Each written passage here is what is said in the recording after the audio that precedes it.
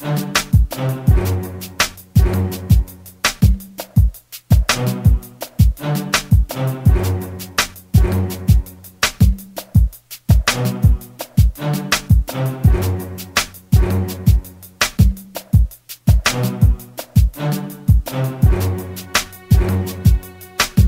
tuned into the main event. Keep that browser locked.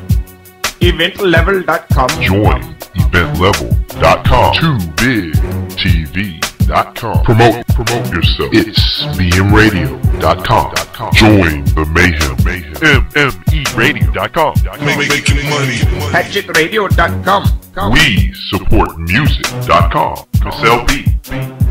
Management. Yo, yo, yo, yo, check this out. It's your boy, Blue Collar, aka Mr. This is My City, Lex Town, and you're listening to EventLevel.com. DB, Master Wills, what's up? It's your boy Lou from MME Radio. When I ain't knocking motherfuckers out or putting bitches in chokeholds, I'm listening to the main event with Master Wills on eventlevel.com. Tap out or nap out, bitches.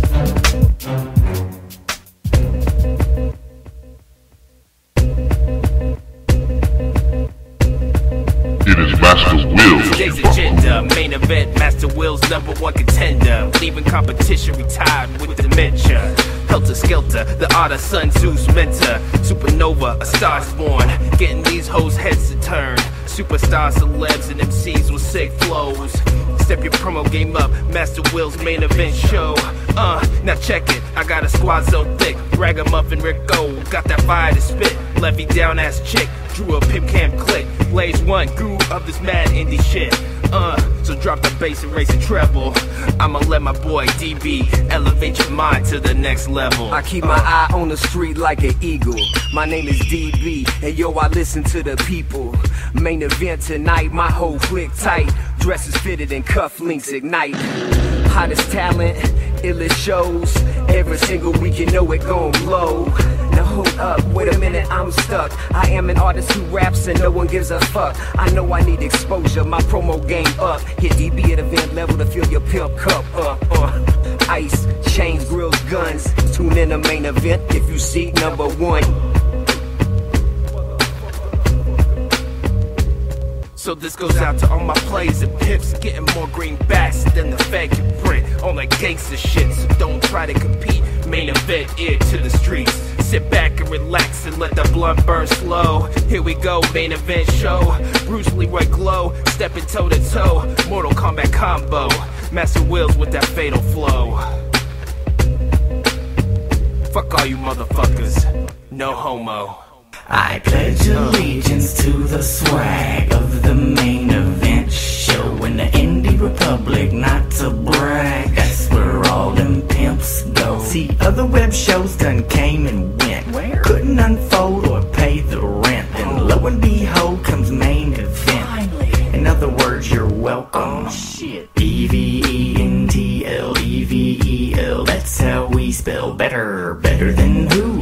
Getting your female wetter than you can get her boo hoo. We gathered a few of the finest, put them on Skype all at the same time, which we then provide with exclusive interviews and music. You should find and use it.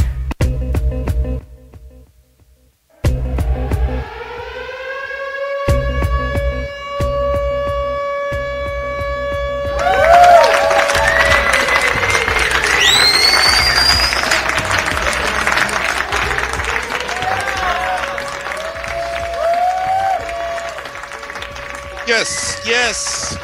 Everybody. Yeah. We're back. Another main event Wednesday. Main event show Wednesday here on eventlevel.com. Awesome. Our favorite day of the week, Wednesday. Hump day. wacky. Hump day. Hump day. Why are you always thinking about sex? That's uh, how I'm made up, dude. She's in her sexual prime. I am. Now. This is it, man. She's For like the last 20 years, I've been in my sexual prime. clean off the bone. Seriously, I'm serious. She is fired up like freaking a volcano. Fire. you know?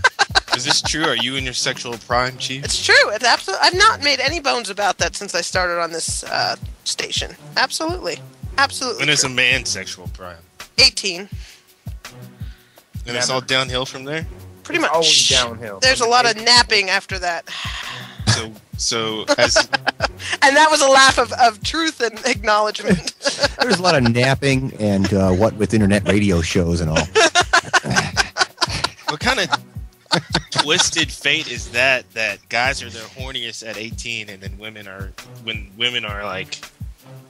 Yeah, 20 it's years to later, repli- it's to know. replicate in like your 30s. That's why. Because that's when you kind of meet each other. It's like your early 30s. And Yeah, then, but like, then the guy's like, ah, I just want to drink a beer and watch TV. I just want to go to work Unless the and guy like, like awesome. fuck my hand, make knuckle children. Because I, I done had like seven of them. She's done went crazy because of like the last seven years she's done nothing but pushed out kids. I think I'll fuck my hand. That's very well put, Rico. Call him up. What are you doing? Not fucking my other hand. Talking to you with the other hand. On the Why? That's Why right. would We were males- tossing knuckle children. Why would a male's libido peak out at 18? Is it like just because the women get more naggy or something like that? It's like, oh god. No, I think because uh, once the male's libido runs out, he they actually can dedicate some brain matter to something else other like than you know mature procreation. Whereas the a- window of opportunity stays open for much, much longer for a woman. She does, she you know goes to her prime in her 30s and such. Not that when she's not in her prime in 18, you know, it's not like a man cares where she is in her age. so the window of opportunity has to be open more Oh, for absolutely. for the women than it does for the men. What? and I mean, it, it's not. It's bad enough that we'll just about fuck anything. So you know, Right, including a hand apparently. Yeah. And, and as I as I had also explained on the last Trap House Rock show, which you can listen live exclusively on eventlevel.com, a watermelon as well. Oh yeah, oh yeah. Oh, that sounds like Gallagher sex, and I'm not sure I'm down with that. Well, if you listen to the uh, podcast over on eventlevel.com uh, of the last Trap House Rock show, it's it's yeah, I'll explain the situation. It's pretty What bad. else? Yeah, Uh, uh, uh, this is like a is this like a new trend? Because I saw on TV today that uh, now compared to like 1965, there's a lot less people uh, that are married and more people that are single. And I, I went out to the club the other day, and there was these two older women. And when I say older, I don't mean old. I just mean like Like cheese age. maybe Go on. like maybe like over 22. A little a little younger than you, Chief. oh, okay. When I say older, I mean a little younger than you. Unreal. but no, no, no. These ladies were straight cougars, and they and I see them more and more, and they are the horniest women out there. I mean, Oh yeah. well, because you know, They can't help themselves. You know, right. they got these hormones that make them want to pounce on their husbands, and like I said, rip them to shreds, to shreds, So- to shreds, the bone down to the, the bone in the dick. right. is there my husband looks like skeletal now. And just as the most interesting man in the world suggests, I also agree with his catch and release policy when it comes to cougar hunting. Catch and release. Sometimes you just Policy of catch and release. Back out in the wild, you know, take them to a club and leave them there. I can understand why women have affairs though in this midlife. You know, it's just one guy may not be enough for some people. or you need a horny 18 year old boy, right? Well, and that's there's nothing wrong with that. I say it. What you know, A pool boy. And as some recent college coaches' wives have demonstrated, it's a fine line between 16 and 18, isn't it? very fine. Is that what she said? Fine black. I don't know. Well, she did the kid, didn't she? Absolutely, She did it when he was Dude, 16. uh, absolutely. And and she said that there was a little bit more experience. somebody was trying to get me to go to a function. Uh, I guess a club was having a function going on, and it was like 18 and up.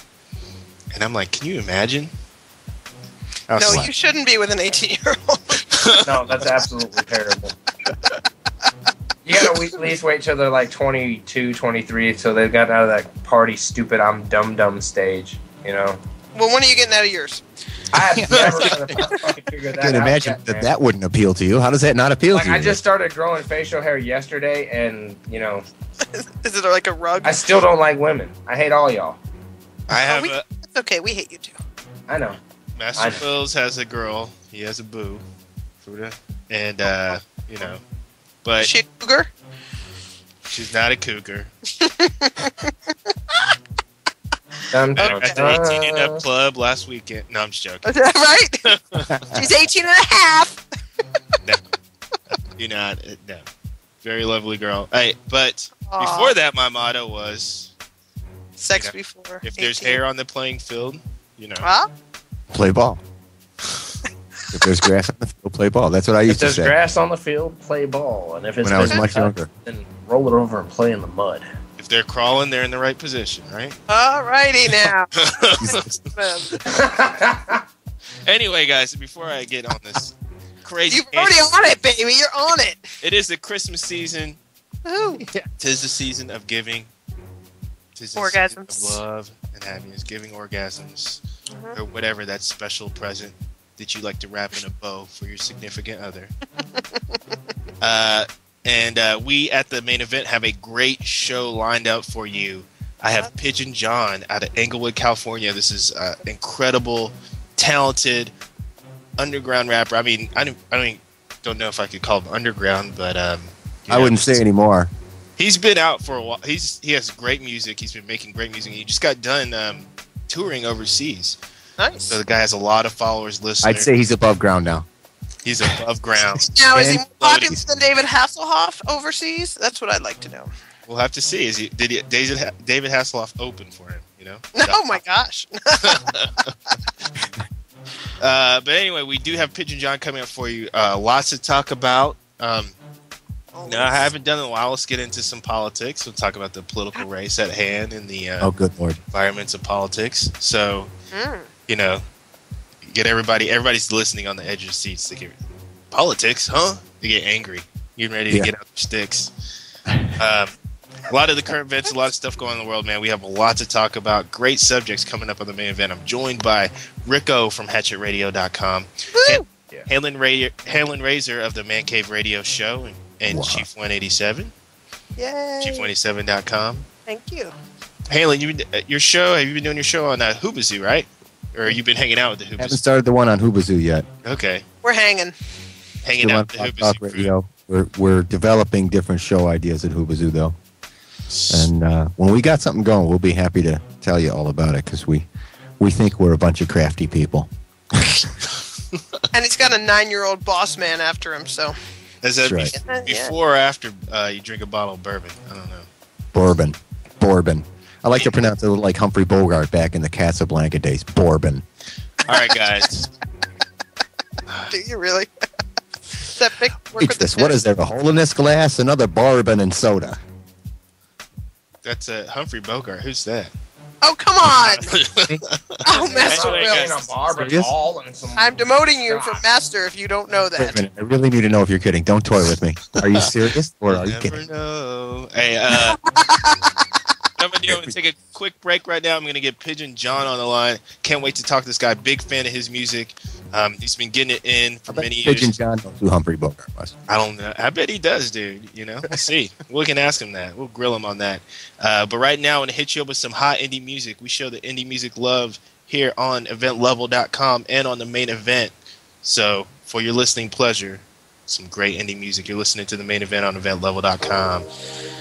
I mean, Hanlon. You're tuned into the main event. Keep that browser locked. Pretty Boy Productions, man. Another hit. Ride with me. Ride with you. Ride with me. No trip. Seattle got you. Baby, if you want it, you can have it.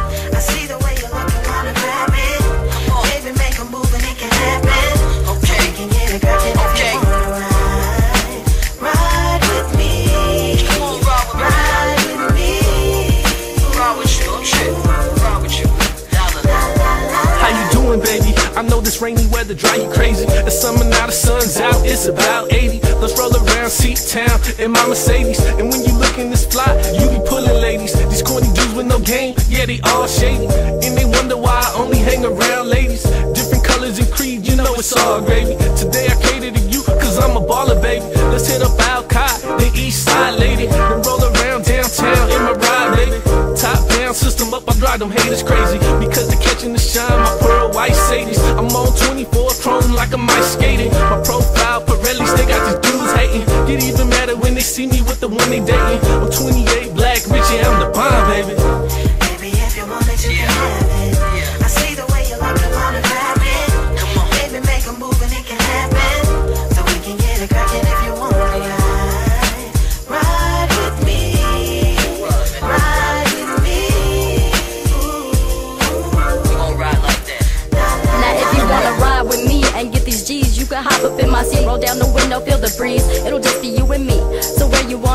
already know that time to blow. Just pick the spot and say so. Cause it's all up to you, cause I can be that one the one and only in your life you wanna be true to. So what you wanna do? Cause we can kick it some of the realest around the Northwest, up at Everett, Seattle, and Tech Town. If you down, we can team up together and stack bread, make rounds with the beats, knock it, pushing them tens. Get ahead like Bonnie and Clyde when we ride. Fast lane on I-5,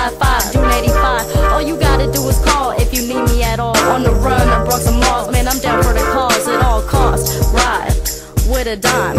Who's top the line? And I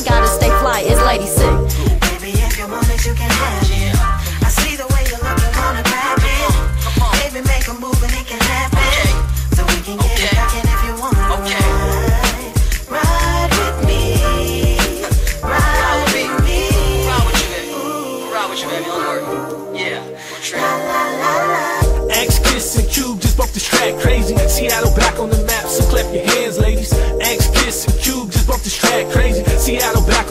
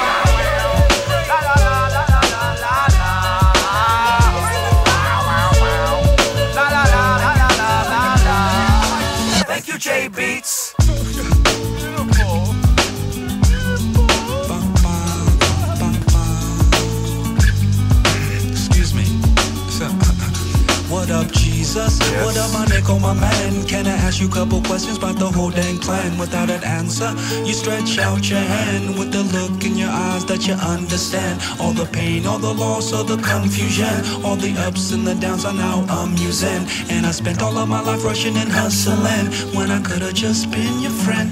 And it's the end of the world as we know it. And it's the end of the world as we know it. We're drinking coffee in the sun. All my friends, the old and young, and it's okay now. Coffee in the sun. All my friends, the old and young, and it's okay now. It's okay now. It's okay now. The, bus- the business.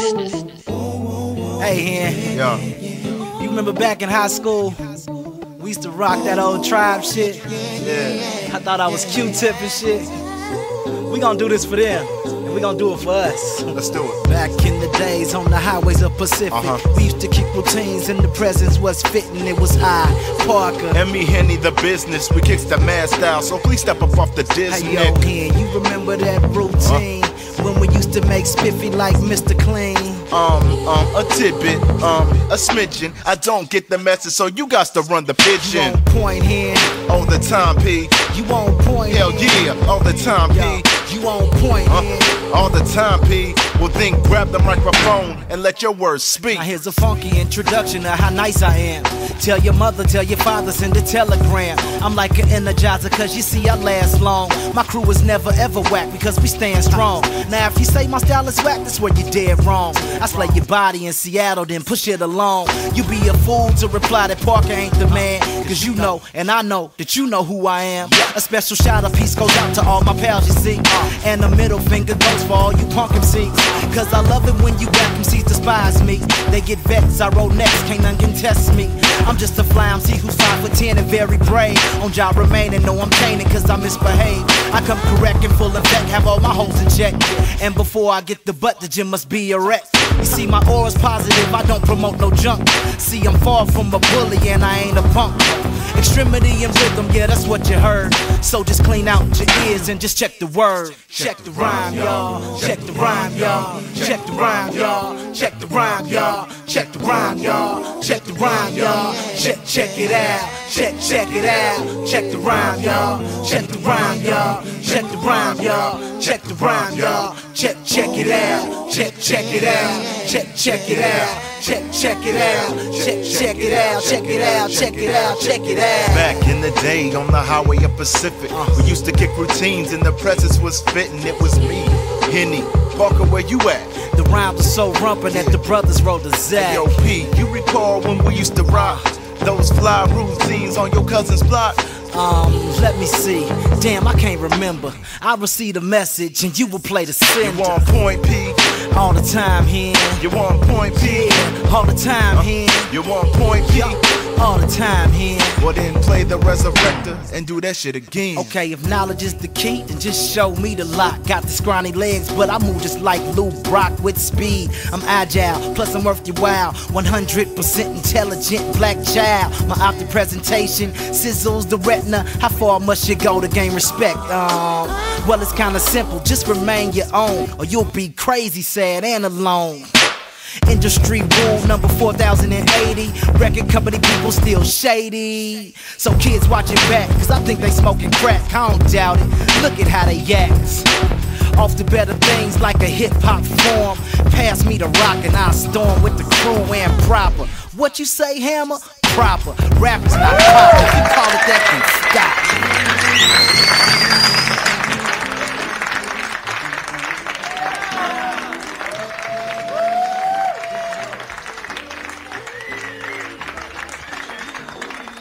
What up, everybody? You're back on the main event here on eventlevel.com. We just spun Lady Six, featuring Only Child Ride With Me.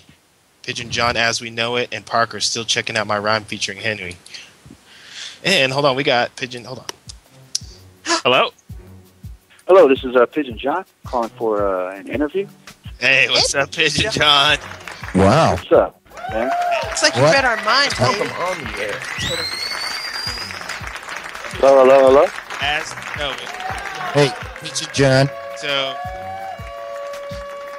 what we got? Hey. Hello? Yeah. yeah. What's up, Pigeon? You got me? Yeah, I got you, bro. Sorry I'm late, man. That's all right. No worries, Wills, man. can I just say for a second that the timing of that phone call was so uncanny? I almost think Mike Esterman set that phone call up. I like I like your style. I like what's going on already. hey, uh, right now I'd like to introduce my next guest. Uh, you just heard, heard one of his hit songs, "As We Know It." All in. He's worked with big names: Eligh, uh, Grouch. Uh, oh man, did we just lose him? Oh, we did. Well, more importantly, you still have me. So What's up, Woo! I think we- Uh, wow. There we go. there it is. There. What's up, John? Yo, sorry, man. I think I dropped the call, bro. No problem. AT&T or something like that. What's going on? Uh, it's uh, it's it's There's a no uh, 3G in Russia. Metro PCS. It's a Metro PCS. All right, hey man, I was in the middle of a big intro for you, man. Uh, one of uh, one of the best artists right now out there doing it, putting it down. A great lyricist, a great inspiration. If you live in all the way from Omaha to Inglewood, please stand up for Pigeon Yes. John in the house tonight. Pigeon John. That's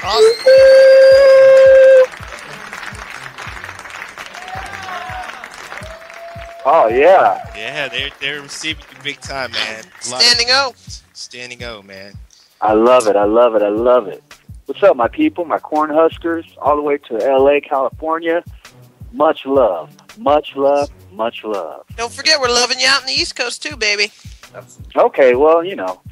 What part what part of the East Coast? I'm a Jersey girl. What's going on? What's going on, Jersey? How you doing? I'm doing good. It's a Glad you're here to with be us. here. Thanks for having me. Yeah. Appreciate it. Hey, uh, Pigeon John, man, uh, did you you just came off this big tour, man? Right? You were just off in uh, overseas. I have a buddy out there in Germany, man. He, you know, he's stationed out there with the military. He was like, man, Pigeon John came out here. I wanted to go so bad, but I had to work, and he's all pissed off. But Oh man, uh, yeah, just got to got to tour around Europe a lot this year. Um, thank goodness. Not not uh, just one tour with Josh Martinez uh, in the summertime. So it's uh, it's been totally different to tour outside of the country versus uh, just in America. It's been a, a blessing, but at the same time, miss miss touring in America. oh, really? What's a uh, what was it like touring out there, man? What did you what did you like about? Man, I I never been to to France before, and it is obviously a different language and stuff. So at first I was like, man, I, I wonder how it's going to be perceived because maybe half or less than half of the audience might not be able to follow the lyrics. But uh, they, I think they appreciated it and got into it uh, even more than uh, in America.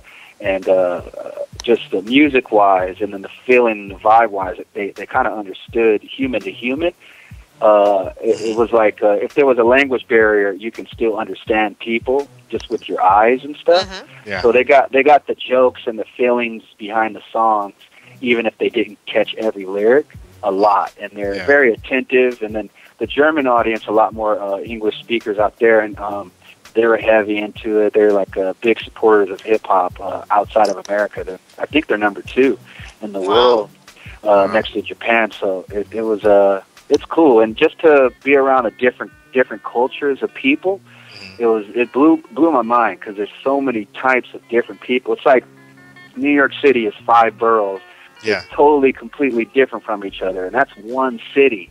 So when you go over to uh, Germany or, or, or Switzerland or, or Belgium, how they might quote unquote look alike, but they're completely different, and they will take offense to it. doubt. You know what I'm saying? A Yeah. lot of So pride, it- it- yeah. I, I love that, and, and and the culture. It's just a different culture, man, and Did you it say kind of did kind of say all white huh? people look the same to me?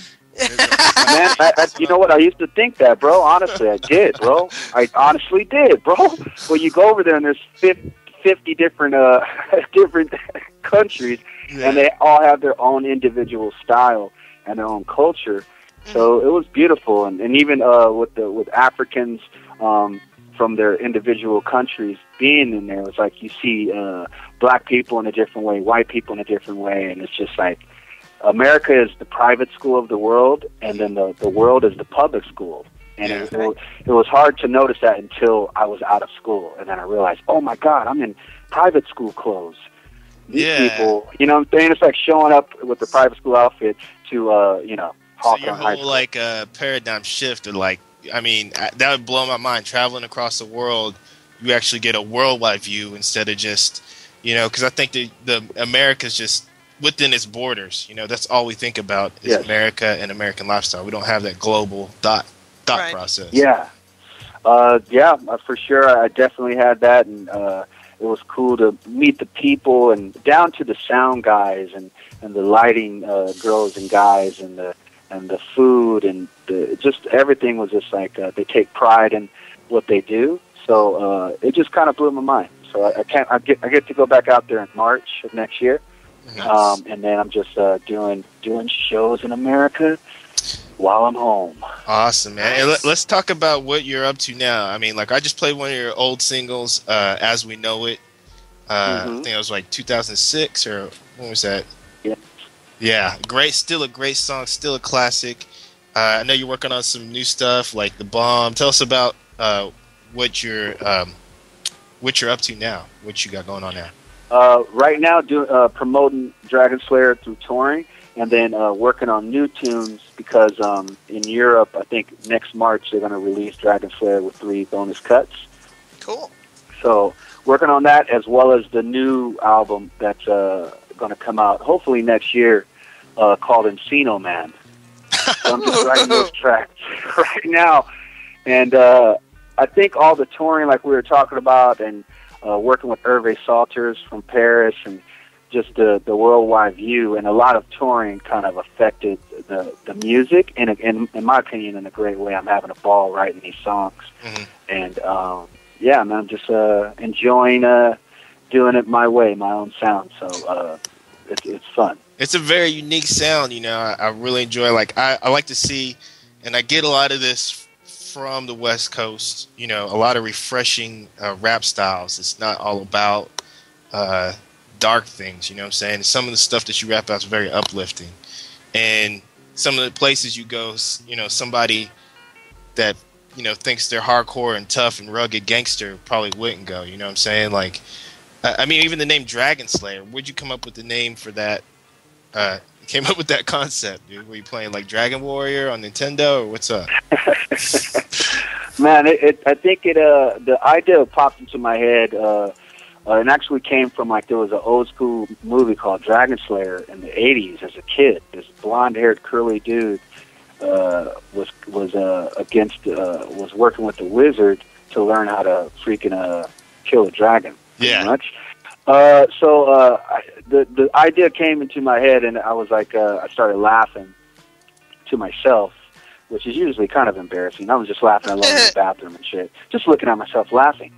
And uh, I said, okay, boom. But I think when the song started taking their own uh, turn and, and working with uh, Hervé, and it, it kind of told a story of like, uh, you know, defeating uh, your problems, overcoming uh, the personal things in your life uh, in Dragon Slayer, whether, whether it be, you know, uh, alcoholism, Yeah. or whether it be like, uh, uh, uh, uh, you know, treating the ladies wrong. Yeah. Regardless, or breaking too many windows when you simply wanted to go out to a bar. Mm. You know what I'm saying? Uh, just the just the little things in life. So it, it was kind of like uh, my take on um, coming into a, a second wave in my life. In a So, way. so that sounds like kind of some. Is that some like personal stuff that you? I Yeah, mean, what are you talking right there, man? Yeah, You airing out some yeah, bro. right? Yeah, bro. Yeah, it's personal, bro. What? You heard? You heard? Yeah, it's a, I, I like uh like uh, what I look up to the Far Side and um and all the way down to Mobb Deep and the Pharcyde, and I like uh how both of them uh, uh, African Americans uh, doing doing hip hop, uh, uh, and and they they told what they went through in the most personal way. And in Mobb Deep songs, I think like it sounds dark, but a lot of the stuff is actually pretty funny. Like talking about a guy getting jumped when he goes to try to see a girl and stuff.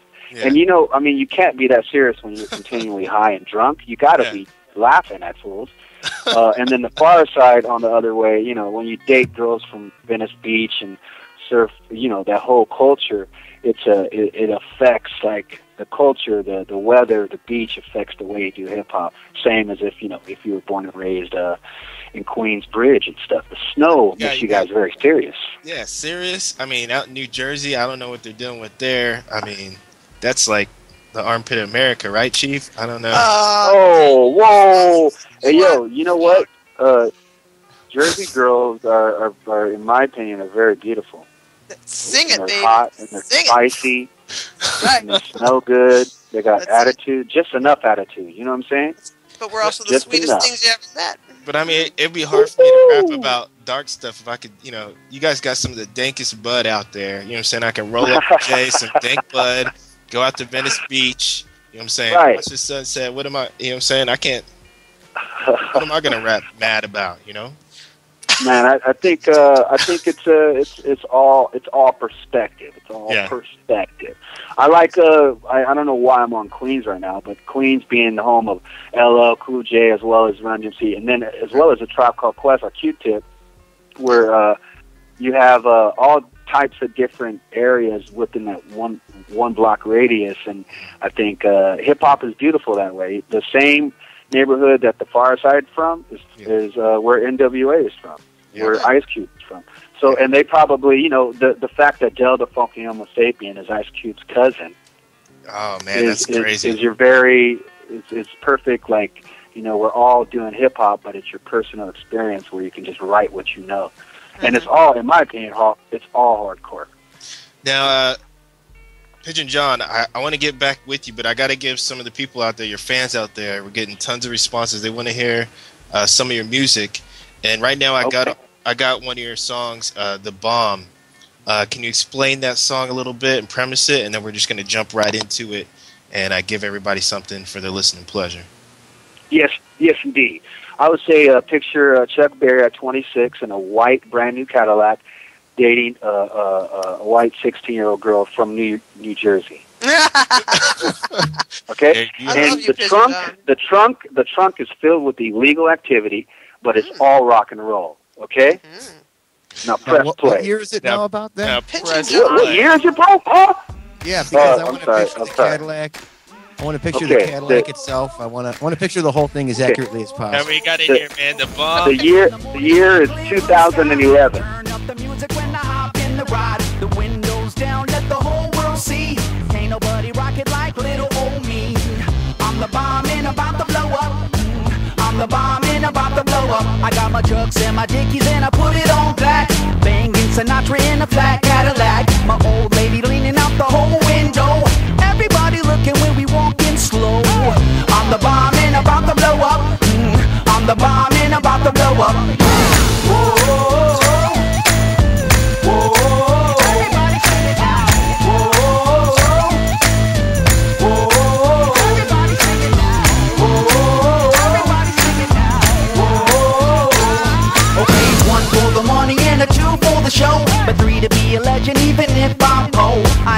I ain't chasing nothing, you gon' have to catch me. And if you wanna taste, you gon' have to pay a fee. I'm the bomb and about to blow up. I'm the bomb and about to blow up. All my Molly ring walls and my little scarecrows. When they hear my record, well, they all hit the floor. Babies rock a pose, come up in the front row. The homies in the back get the house low. I'm the bomb and about to blow up. I'm the bomb and about to blow up.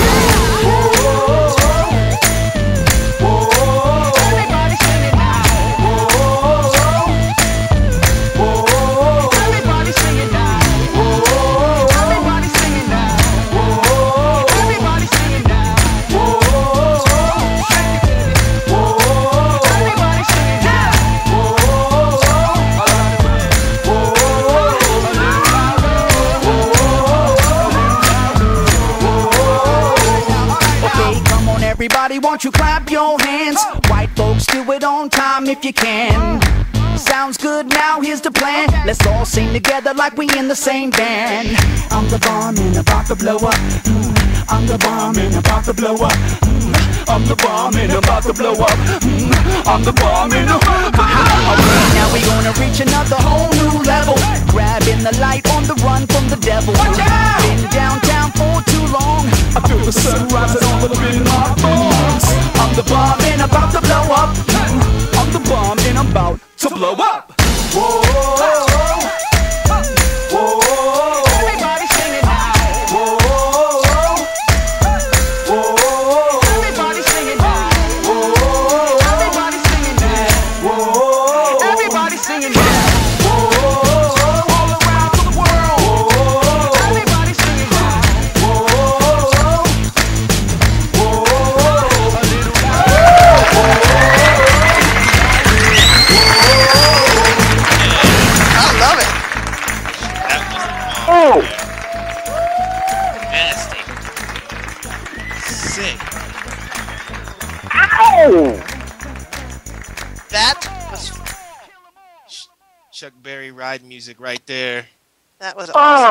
The bomb by your man Pigeon John, who we got on the line right now, ama- man.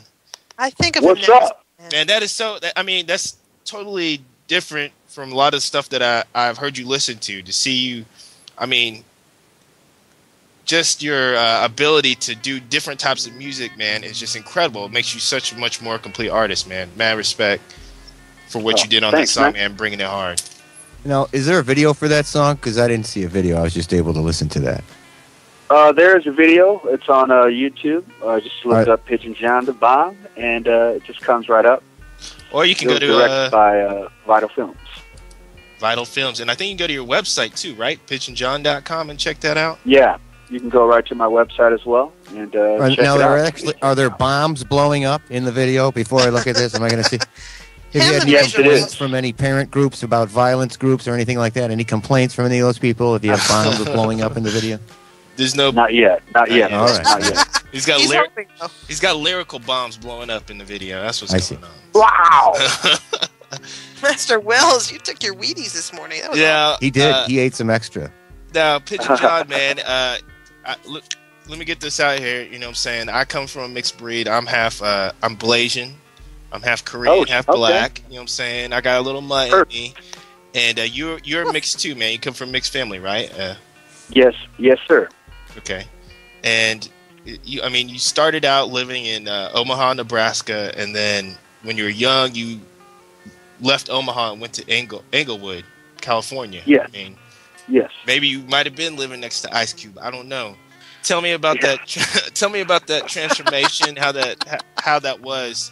Was that a huge shock right. to you, and how'd you adjust to that? Oh man. Uh, well, one. Uh, my mom. My mom is uh, half Danish and, and German. And uh, my dad's black from uh, Kansas City. I don't know his name though. He might be Prince. He might be Morris Day. Not sure. uh, so anyway, she got pregnant, yo. I would hope that it would be like Richard Pryor. That's probably look- who I'd be. And ooh, now you're talking. Or JJ from Good Times. Who knows, man? It was a wi- it was a wild time. You do look like You know, Morris Day, every- I say that for sure. You do look like She was she was young. She was in love. Everybody was going crazy. It was the '70s. You know, you know how it is.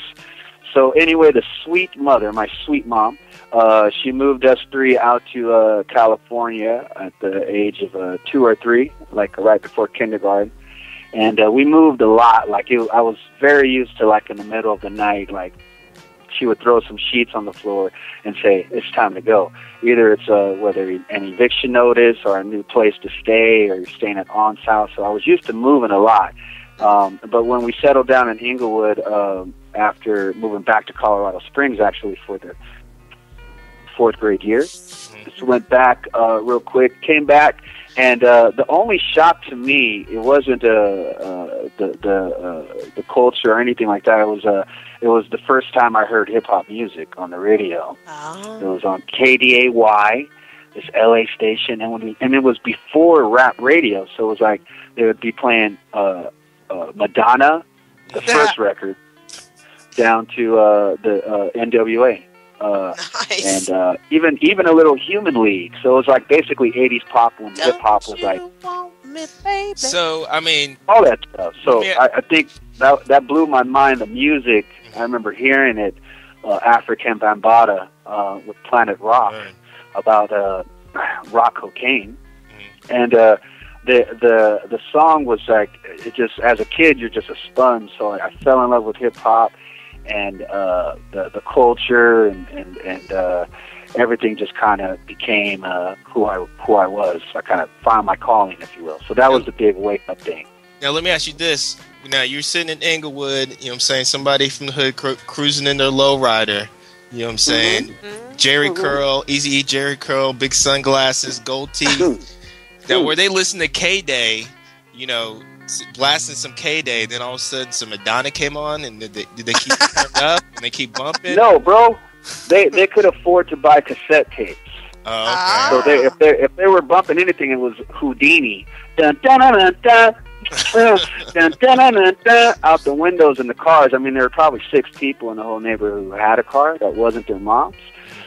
so, uh, so in general, that never happened. But me, I grew up. I got into skating at the same time, Yeah. and my bro- my brother was a football and basketball player, and then uh, uh, my friends we were into skating and hip hop. So we weren't gangsters at all, uh, but we grew up. Our best friends that we played uh, football or just hung out at the park, they were quote unquote in the gang, but it was so close to us that it wasn't. No one was in a gang. It was just like. Uh, this is our neighborhood, and we were we were more influenced in, on the new music and what girls we wanted to have sex with, but we weren't having sex. But that was we, we were too caught up in Neither was Master in that, like you know what I'm saying? We just liked girls. Uh, you know, my sister was you know good looking, so I always dealt with you know dudes coming up like, hey, what's up with your sister? That vibe, and and uh, it was just like we were too young to even notice what a gang was uh, or what a blood was. We everyone said, you know, what's up, blood? That was just like what you would say, and I think uh, I think uh, I'm I'm happy that I grew up that way, where there's not like a a, a difference or a notice in in LA. Everyone is the same, and uh, whether they're banging or not, it's still Los Angeles. Hey, Pigeon John, I have a question. This is Chief 187. I'm the Jersey girl, and I was just curious after what I just heard you talk about. And, and an honest question: Was music then a way of getting chicks, and initially, or did you know you had this calling to write, to perform, to get your message out there in that medium, or did it start off like a lot of rock and rollers, where it's just I got to get the chicks, man? How do you think your No. your path went? I think uh, because I got into skating at the same time as hip hop, it was all it was always about pulling off the trick. It wasn't about ever getting girls. It was just basically about uh, doing bomb music or making uh, beat loops the best way. Or if you're if you're beatboxing, it kind of like the the competition was the competition. I think was the biggest uh, pull, and trying to make uh, the freshest rap and and put together the freshest, uh, uh, you know, routine. And plus, I was b-boying at the same time. So, if it got the girls, one I didn't notice because I was a, I was kind of a nerd. and then two, man, it's just the music was like I was on my headphones and it was just like my life. Uh-huh. Like I would just listen to one song over and over. I had this cassette tape and I had Boys in the Hood from the radio on loop on one whole side, and then you'd flip it over. You know, would have Human League. I'm only human. I'm only human, born to make mistakes. Oh my God, I love it. So I would just be bumping that all day, and I couldn't. I couldn't. My mom couldn't afford to buy a record, and the very first cassette she ever bought me was the Miami Vice soundtrack, son. Ah, what you know about that, son? classic, man. Huh? You know, that's that's funny. I mean, that's I remember cassette tapes, and uh, that's what I used to do. I mean, like you had KDAY, you just pop, pop in the cassette tape and just hit record, and that's how I was making my mixtapes back in the day, man. That's right. Like- all day. I mean, it was it was kind of like the uh, uh, digging in the loops or, or digging digging in the crates. Like as far as it was hours of listening to the radio with your hand on the pause button to get like those gems. And whoever caught that gem, like a Whodini song or whatever, it was always me and B Twice like showing each other the newest song. Uh, from you know Beast. I remember when I, when we heard the Beastie Boys as a kid. Before we knew they were white, bro, because there was no videos. so I, ju- I thought they were like, you know, oh shoot, from Brooklyn, oh, and we all thought that, and we were actually shocked when the picture showed up. Like all of us kids were like, ew. We were like, what? Like uh, we were taken aback, not in a bad way, just saying like as ratio. It was surprised. Just to experience uh, hip hop that way was uh, was a blessing, I think. It's kind of like when you went to like overseas. And you're like, these guys like hip hop. You know what I'm saying? I thought they were into like Rammstein or something over here. And David Hasselhoff. Yes. David Hasselhoff. Did David Yes, Hasselhoff indeed, man. open open for you? By the way, I forgot to ask that. Question. Yeah. No, yeah, he did, man. Him and his family, daughters, they all uh, came to the show, and uh, we all partied hard afterwards. Sweet, All right, sweet. cheeseburgers for everyone. Uh, Indeed. just got a um, message in, a message in, uh, email in, and uh, this is comes from Blaze One. Uh, he wanted to talk about the song you did off Eligh's Grey Crow album, Whirlwind. Uh, what was kind of your thoughts, and, and what you know, what was your mindset going into that song right there? Oh man, that was one of my favorite sessions. Um, Eli was going through a lot as well as myself, but we were kind of on. Uh, I, I would be, I can be honest. I would say that we at one point earlier on in our career, I was on a the quote unquote light side, and he was on the quote unquote dark side. Um, and I think when we were we uh, recorded that song, we flipped uh, sides, and um, he he uh, he and I was I was just in a mind state of like uh, the way my life was going. I was basically like you know f the world and on that little uh, zone, zoning out, you know, zoning out kind of vibe. And I think uh, it was just like two dudes' perspective. Him with the with the woman and, and a new relationship in a good way, where it was almost scary how good it was going. It was almost like a whirlwind. Like when she walked into the room, you didn't see anything but her. Like it was she repre okay, here we go. And then on me, my whirlwind was in my mind and uh and you know, being held you know, in my apartment and stuff and, the, and I, I didn't see anybody but myself and a very, very cold, cold uh world Yeah. where no one existed except myself. So it, that I think that was my whirlwind and uh that was his whirlwind. That was So it was, incredible tandem, incredible like yin and yang collab. I mean, that's Yeah. what you call a collaboration. You know what I'm saying? Yeah, and I think the the best thing about that song is that we were writing about what was actually happening, and him with his new girlfriend, um, and then me and my like, uh, you know, you get you get mad at the world and stuff, you know, you start buying buying stuff and and hiding out and stuff, and then thinking that uh, everyone's against you and stuff. So I think that that that's where I was at, and that's where he was at, literally. So. Well, how did you get released from that, Pigeon John? Oh man, I think uh, after time, and uh, I would just say my friends. Yeah. You know, personally speaking, like uh, people voicing up and saying, "Hey, dude, uh, what's up with you, bro?" you know, stuff like that. And you then weren't really, defensive? really, what? You, you weren't defensive about that shit? Oh, at first, of course, of course, uh, of course, I was, and, and I think like when I let my guard down and kind of let um, people, you know, you start receive when you, I started just receiving love that was out there, like, and then the doors started opening up again, and I started, you know, letting people inside and, and being a good friend and stuff like that, and then that that's what kind of got me uh, out of the that uh, funk, that cloud.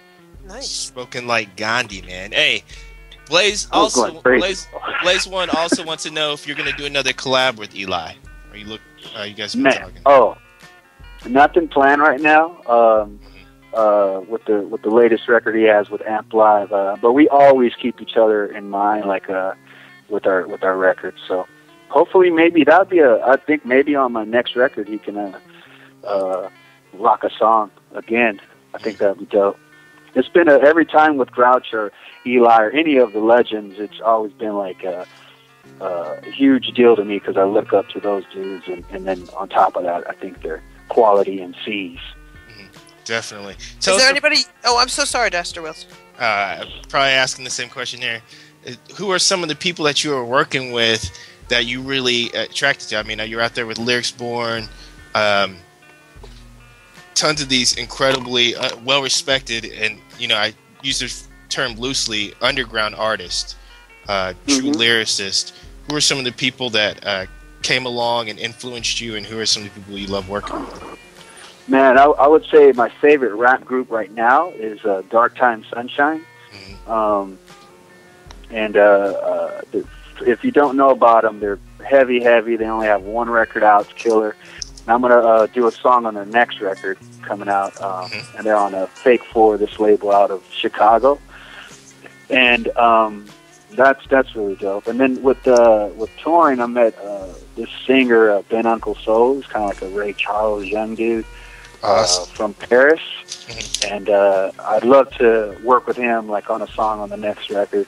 He's a good good brother, and um, man, there's so so many good things out there. There's uh, even down to the the West Coast Far Far East movement, Hyper Crush on the on the commercial pop side. Uh, really good dudes and, and working hard and and uh, making music that uh, gets the ladies dancing, Mm-hmm. which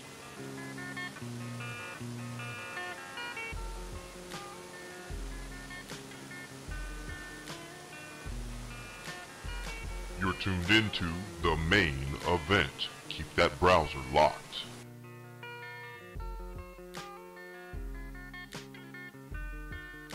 Eventlevel.com. Join eventlevel.com. Too big TV.com. Promote promote yourself. It's bmradio.com. Join the mayhem. Mayhem. MME radio.com. Making money. Hatchetradio.com. We support music.com. Miss LB. Management.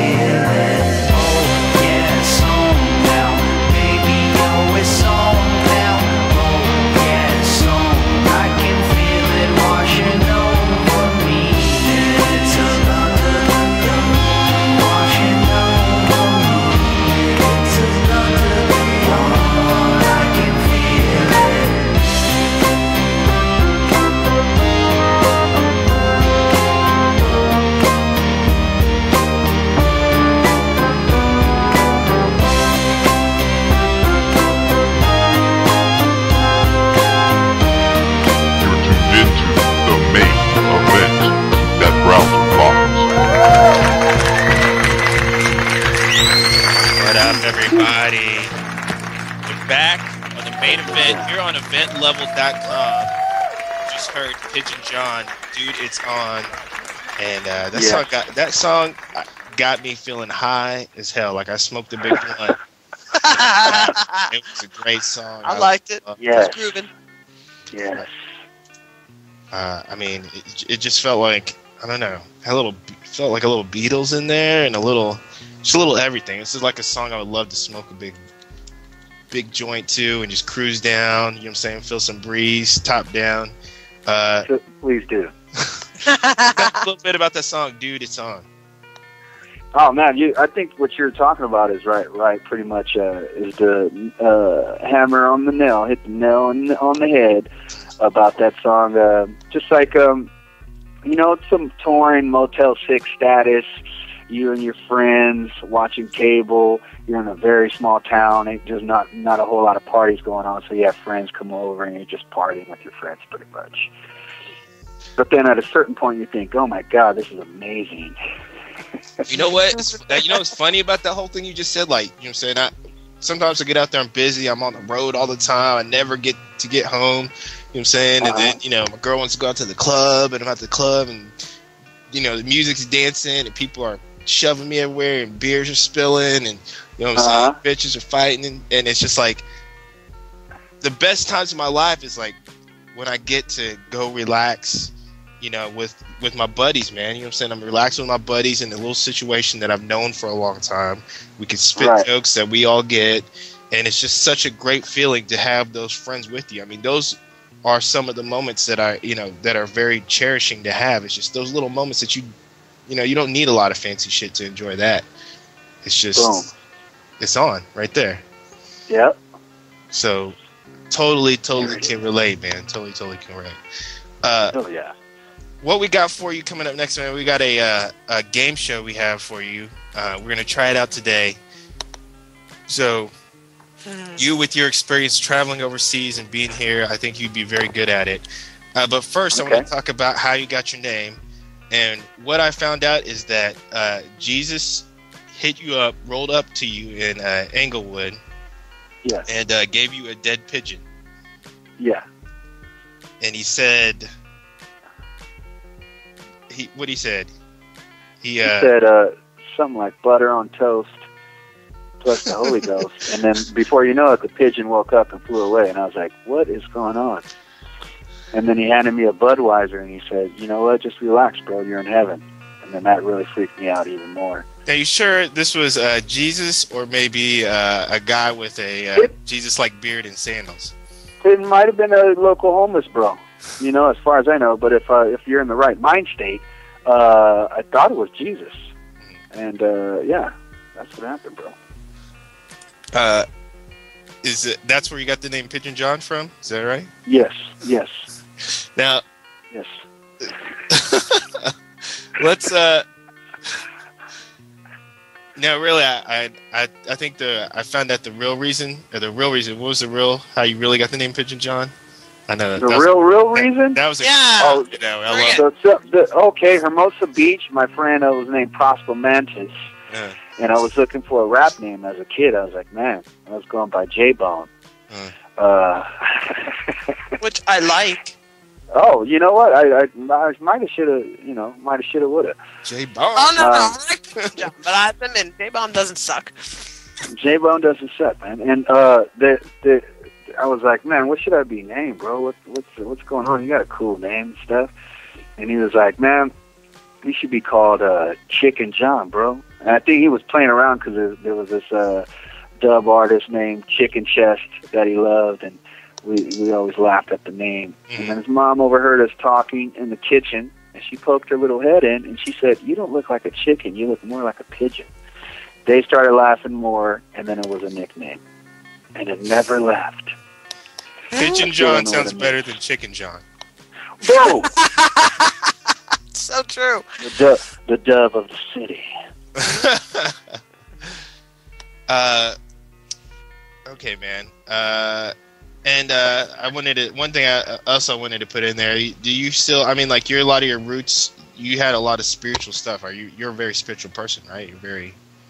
Yeah, I, I, would- say so. Uh, not. It's kind of like me, probably the way I was raised, and then later on through uh, through life experiences, just out out out in the streets. Uh, yeah, I, I think I'm as spiritual as as everybody is. I think, uh, and like that connected uh, connected to a um, a higher power and uh, called God, and and uh, how when, when when it gets really really tough, I think that uh, God gets uh, personal and he comes comes down to help you. Okay. That's awesome. Okay. That's awesome. All right.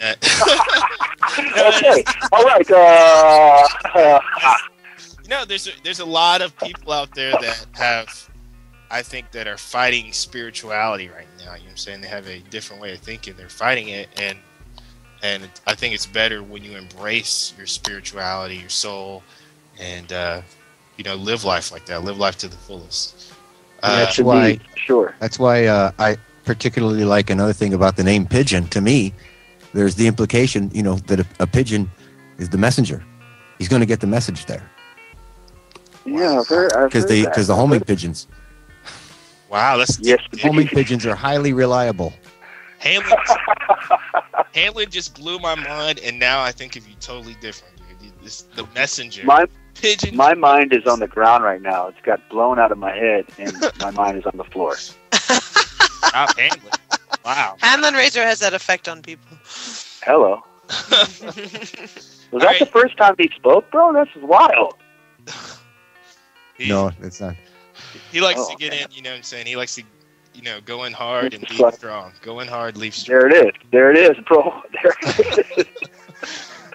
All right, Pigeon, we're going to play a little game we have on you. It's new to Yes. event. All right. Uh, so, uh, you know, I, I hope you got your game face on. Like I said, I got this, this is going to be a something that I think you're going to be well versed because you just got done going overseas, and you know Mm-hmm. you got to experience, you know, outside the U.S., out in Europe, and back here at home. Traveled all over uh, the U.S. and uh, abroad. So here we go. This is a little segment I like to call "Is it Germany or is it Florida?" Here we go. Oh, nice. Here we go. That's Little funny. dueling all right. banjos. A bunch of questions. I want to have them answered immediately. All right, all Here right. we go. We're gonna ask you uh, some questions here, and uh, All I right. gotta, you got to tell if the headline is German or from Florida. Okay. Uh, a teacher is suspended for using a hose to clean student who soiled himself at school. Is that German or is that Florida? Here you go. Florida. Everybody else, here we go. Pigeon John says Florida. The answer is correct. Oh, Yes. Whoa. Man, it's unstoppable.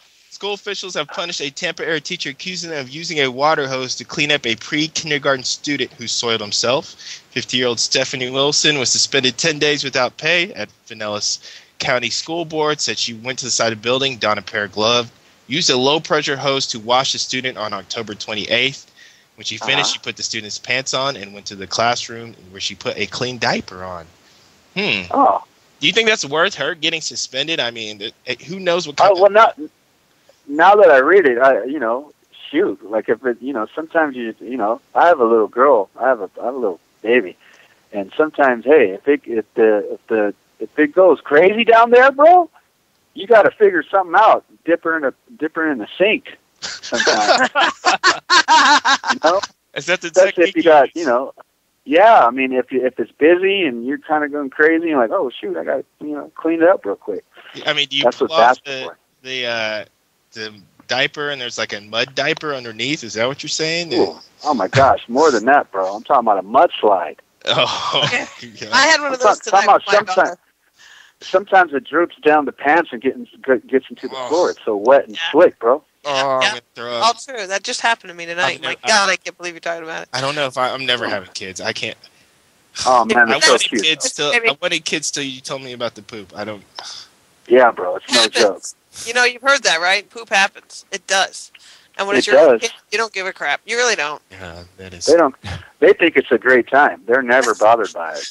They're having fun. They're having fun regardless. You know what I'm saying? Thank you, man, All right, here we go. Round two. Is Okay. it Germany or is it Florida? Here we go. Round two. Here comes the question. Uh, A hundred snakes found in a hotel. Hundred snakes. Is it Germany or is it Florida? Here we go. That's some that's some German stuff. I'd say Germany. Wow, that is correct. You are good. Son of a bitch. You are incredible. That is incredible. Wow. Hey yo, uh, me, uh, Ger- German people are kind of crazy in a good way, bro. They party hard, and if you party so hard that you wind up with a hundred snakes in your hotel room, it means someone's having sex. German sex is uh yeah. Something's going in. Is that like American Sex with subtitles? What's that? American sex sex is like missionary, you know what I'm saying? Yeah, Sheet- sheets no, no. over underneath the sheets. Oh. No, German sex is above the sheets, lights on, and a hundred snakes. that's right. It's odd. You know what German sex is? Honesty. Honesty. Woo! Baby, I want to have a hundred snakes in the bed. Okay. Whatever you want. Yeah, want. sure. Why not? yeah. Uh, Man, I love Germany. I love. I love. A hundred snakes Kind found of in turn me on.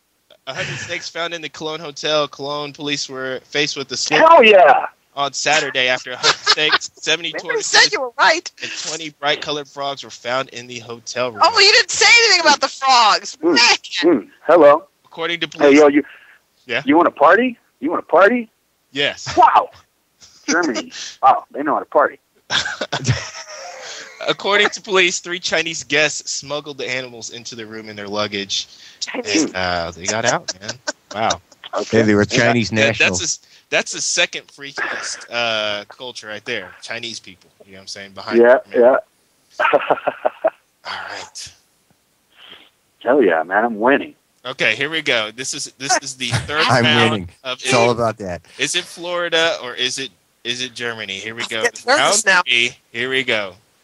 Okay. Uh, woman has sex in intersection and refuses to put clothes on.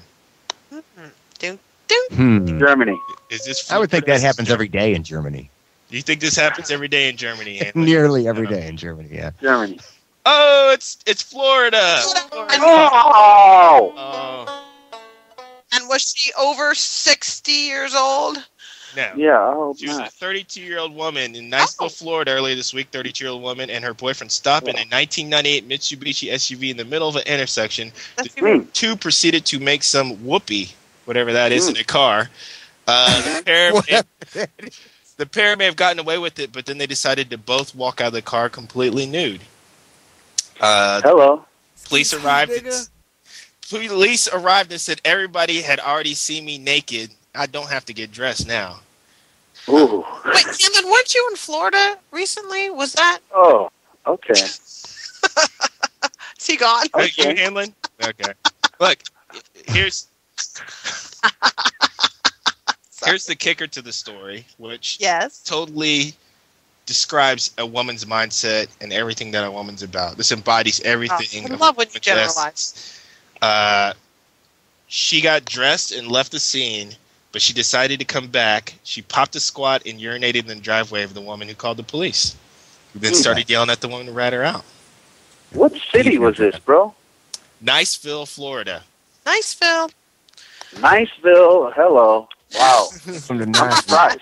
I'm surprised. Okay. we're, we're gonna give you uh you're two for one, and I'm gonna let you have one more. Two for one- three. He's two for three. Two for three. Sorry, two for three. Pretty good. Let's see what you got. One more thing for you. Let's see how how you come out. Let's see you come out a winner. I'm pulling for you, Pigeon John. Here we All right. go. Here's the last question. Is it Florida or is it Germany? The last round. Here we go. Here on the main event, eventlevel.com. Pigeon John goes for the first ever title.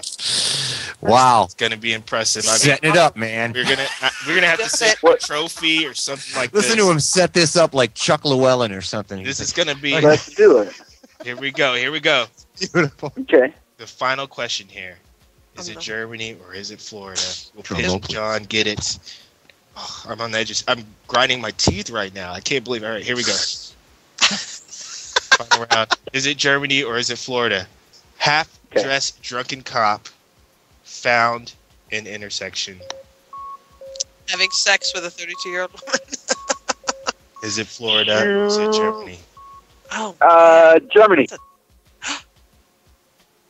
Oh, it's, it's Florida. I God told you. dang it! I was going to say Florida.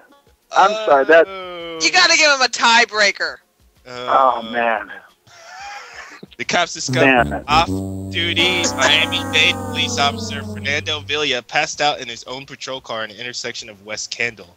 Uh, Oh, man. the police, man. Uh, he was dressed in his special response team uh, unit, and he was found drunk in the intersection. Wow. Okay. Wow.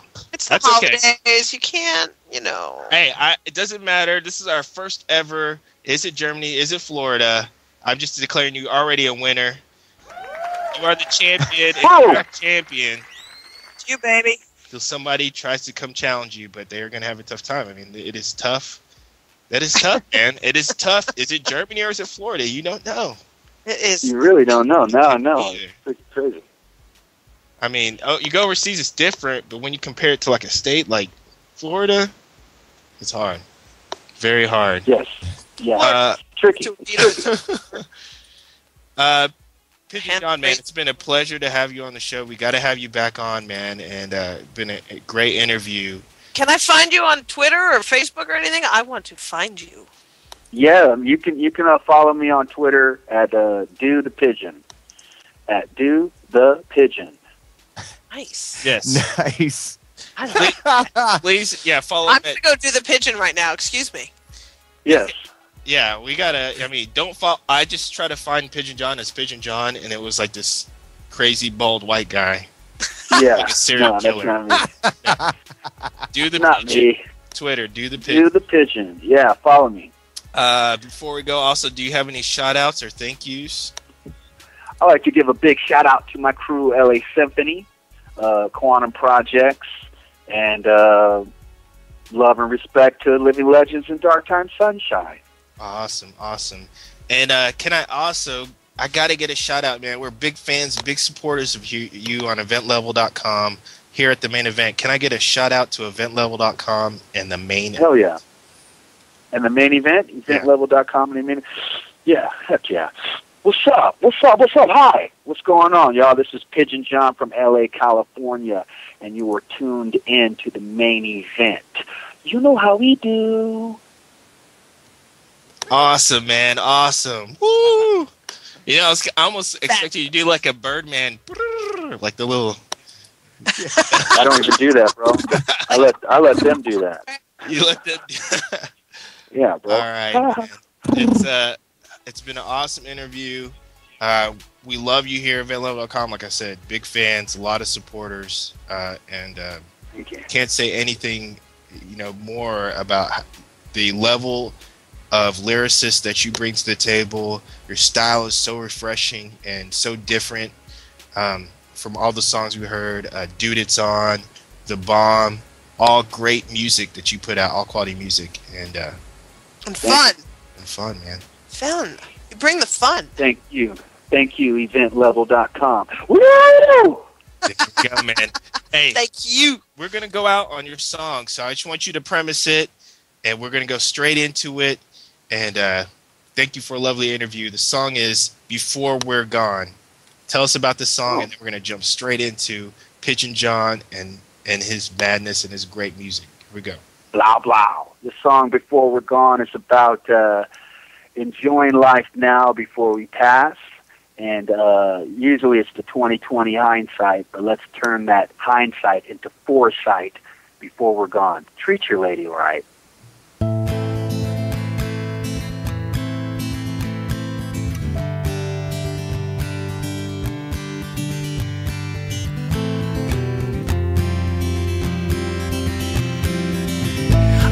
Six months on the road, watching the trees through the window, singing my songs to packed in shows. Girls fill the whole front row, oh, but it don't mean a thing. Mm, The scene's insane on the low. Bathroom stalls packed full of snow. Anything you want is yours and to go. Suicide girls at the door, oh, but it don't mean a thing. If you're not here. you're not here. But it don't mean a thing. Mm-hmm. I'm in a brand new Cadillac. The engine purrs, the paint spills black. Rolling with homies who don't know how to act. And we all got our seats pushed back. But it don't mean a thing. If you're not here, hey, this ain't another love song. Trying to figure out what's right or wrong before we're gone. Oh, let's stand outside of all regret and share another cigarette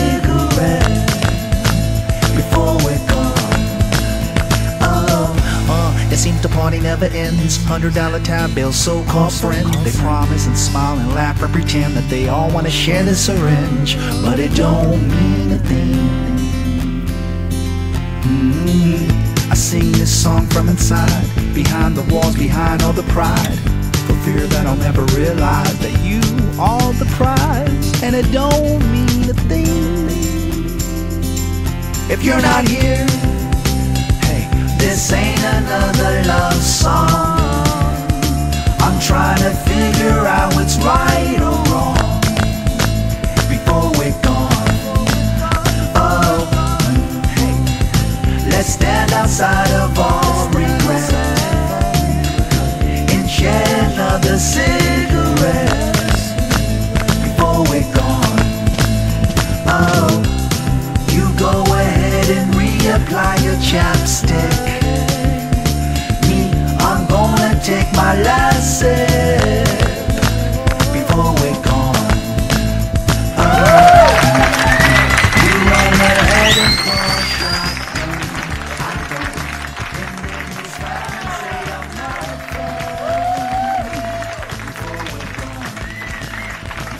What up, everybody? You're back. Main event, eventlevel.com. You just heard Pigeon John, a mm-hmm. legend. True My legend. boyfriend, Pigeon John. Don't mince words, baby. New boyfriend. What? What? What? What? oh man, that guy. This is some great music, man. Some great music. Mm-hmm. Totally into it. Um, great stuff, man. Uh, what I want to go into is uh, let's get into some different headlines of the day. Here we go. Let's let's close it strong. Uh, some new interesting facts. Mm-hmm. Here's something I found interesting. Teen drinking and smoking is down. Cigarettes is down. Drink, teens drinking and smoking cigarettes is down, but marijuana smoking is gone up. Well, Rico's campaign to get teenagers to smoke pot must be sweeping the nation. 2011 Well, survey yeah, I found mean, it- if, all, yeah. if all you have to do is go to a doctor and say you suffer from anxiety and you need a prescription of medical marijuana, Are they really prescribing teenagers though? This I, I don't see that. Uh, it just generally makes it easier to get. I think uh, we we live in a regarding marijuana, a society that's sort of loosened our views regarding marijuana, and it just made it more generally acceptable. But I also saw the same USA Today uh, study results, the data there, and uh, while I do consider that publication to be essentially a rag, uh, I did see the data, and uh, I'm wondering how much they really know about the prescription drug use that goes on illegally uh, with the youth today. There is. I mean, it's. You know, I don't want to. Uh, you know, promote young people's drug use, but I think that, and I don't want to say you're choosing the lesser of two evils, but you know, more damaging I think to a kid would be a cigarette over pot smoke. I would definitely say, and drinking also. I think drinking, and you know, if I were to choose the lesser of the three evils, it would be uh, smoking pot. I think uh, a lot more deaths are related to alcohol, and a lot more deaths are related to smoking cigarettes and cancer. Uh, um, but you know, I mean, you got to look at the bright side of things. Damn it! All right. Yeah. Okay. Yeah, no, that, that the, the pot smoke is up. I, that didn't surprise me. The pot smoking being up, that didn't surprise me at all. I guess I was a little bit surprised that alcohol use is down, though, Uh, and that is good news. Of course, of course. There's no high school keggers going on. What the hell is going on, man? Yeah. bunch of nerds going up. I'd be beating these people up in the hallway. Uh, here's something. Tis the Well, there's- season. What? Bullying bullying is now frowned upon in our culture. I'm not sure if you're aware of that, but there's a zero tolerance on bullying, so you'd be freaking in jail. That's what you'd be, or s- suspended, or What a police society, bullcrap society we have. I mean, Hey. I understand bullying is bad, but come on, man, buck up. Tell your kid to say, "Hey, I'm getting bullied," and say, "If you don't take care of the bully, I'm gonna bully you." Quit being a little puss and handle the bully. Or want me to, I'll go handle the bully, but quit. You know, there's uh, just because. I mean, I just don't understand the whole bullying thing. I don't. Sorry. Am I wrong for that? What do you mean? What don't you understand about it? Do you mean why it's such a big deal right now, publicly becoming such a big deal, and so many bullying cases. I guess there's like cyberbullying and crap like that. You know, and people like killed themselves. And yeah, teach your teach your daughter not to send nude pics. Say if you send nude pics, they're gonna show up on the internet and your life's gonna be ruined. There. Yeah. End of yeah, because teenagers always listen to their parents. They don't listen. Right. Don't be coming crying, and don't be don't be a little wuss and take the easy way out and, and kill yourself. We can deal. Talk to your kids and tell them if you have a problem, we can deal with this problem. Really? know? And Well- if not, and if you're getting bullied, talk to me about it, and we can handle this problem together. You know, but I don't want to rely on uh, the system on the system to police schools and stuff. I want parents to step up and, and be a part of this. I don't want people policing bullies. I mean, bullies is a part of life. It's part of a.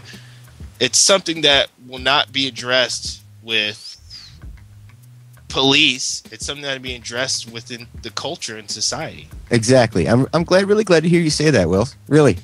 I mean, because that honestly, that's what the whole thing's all about. And we have a free republic. The question is, can we hold on to it?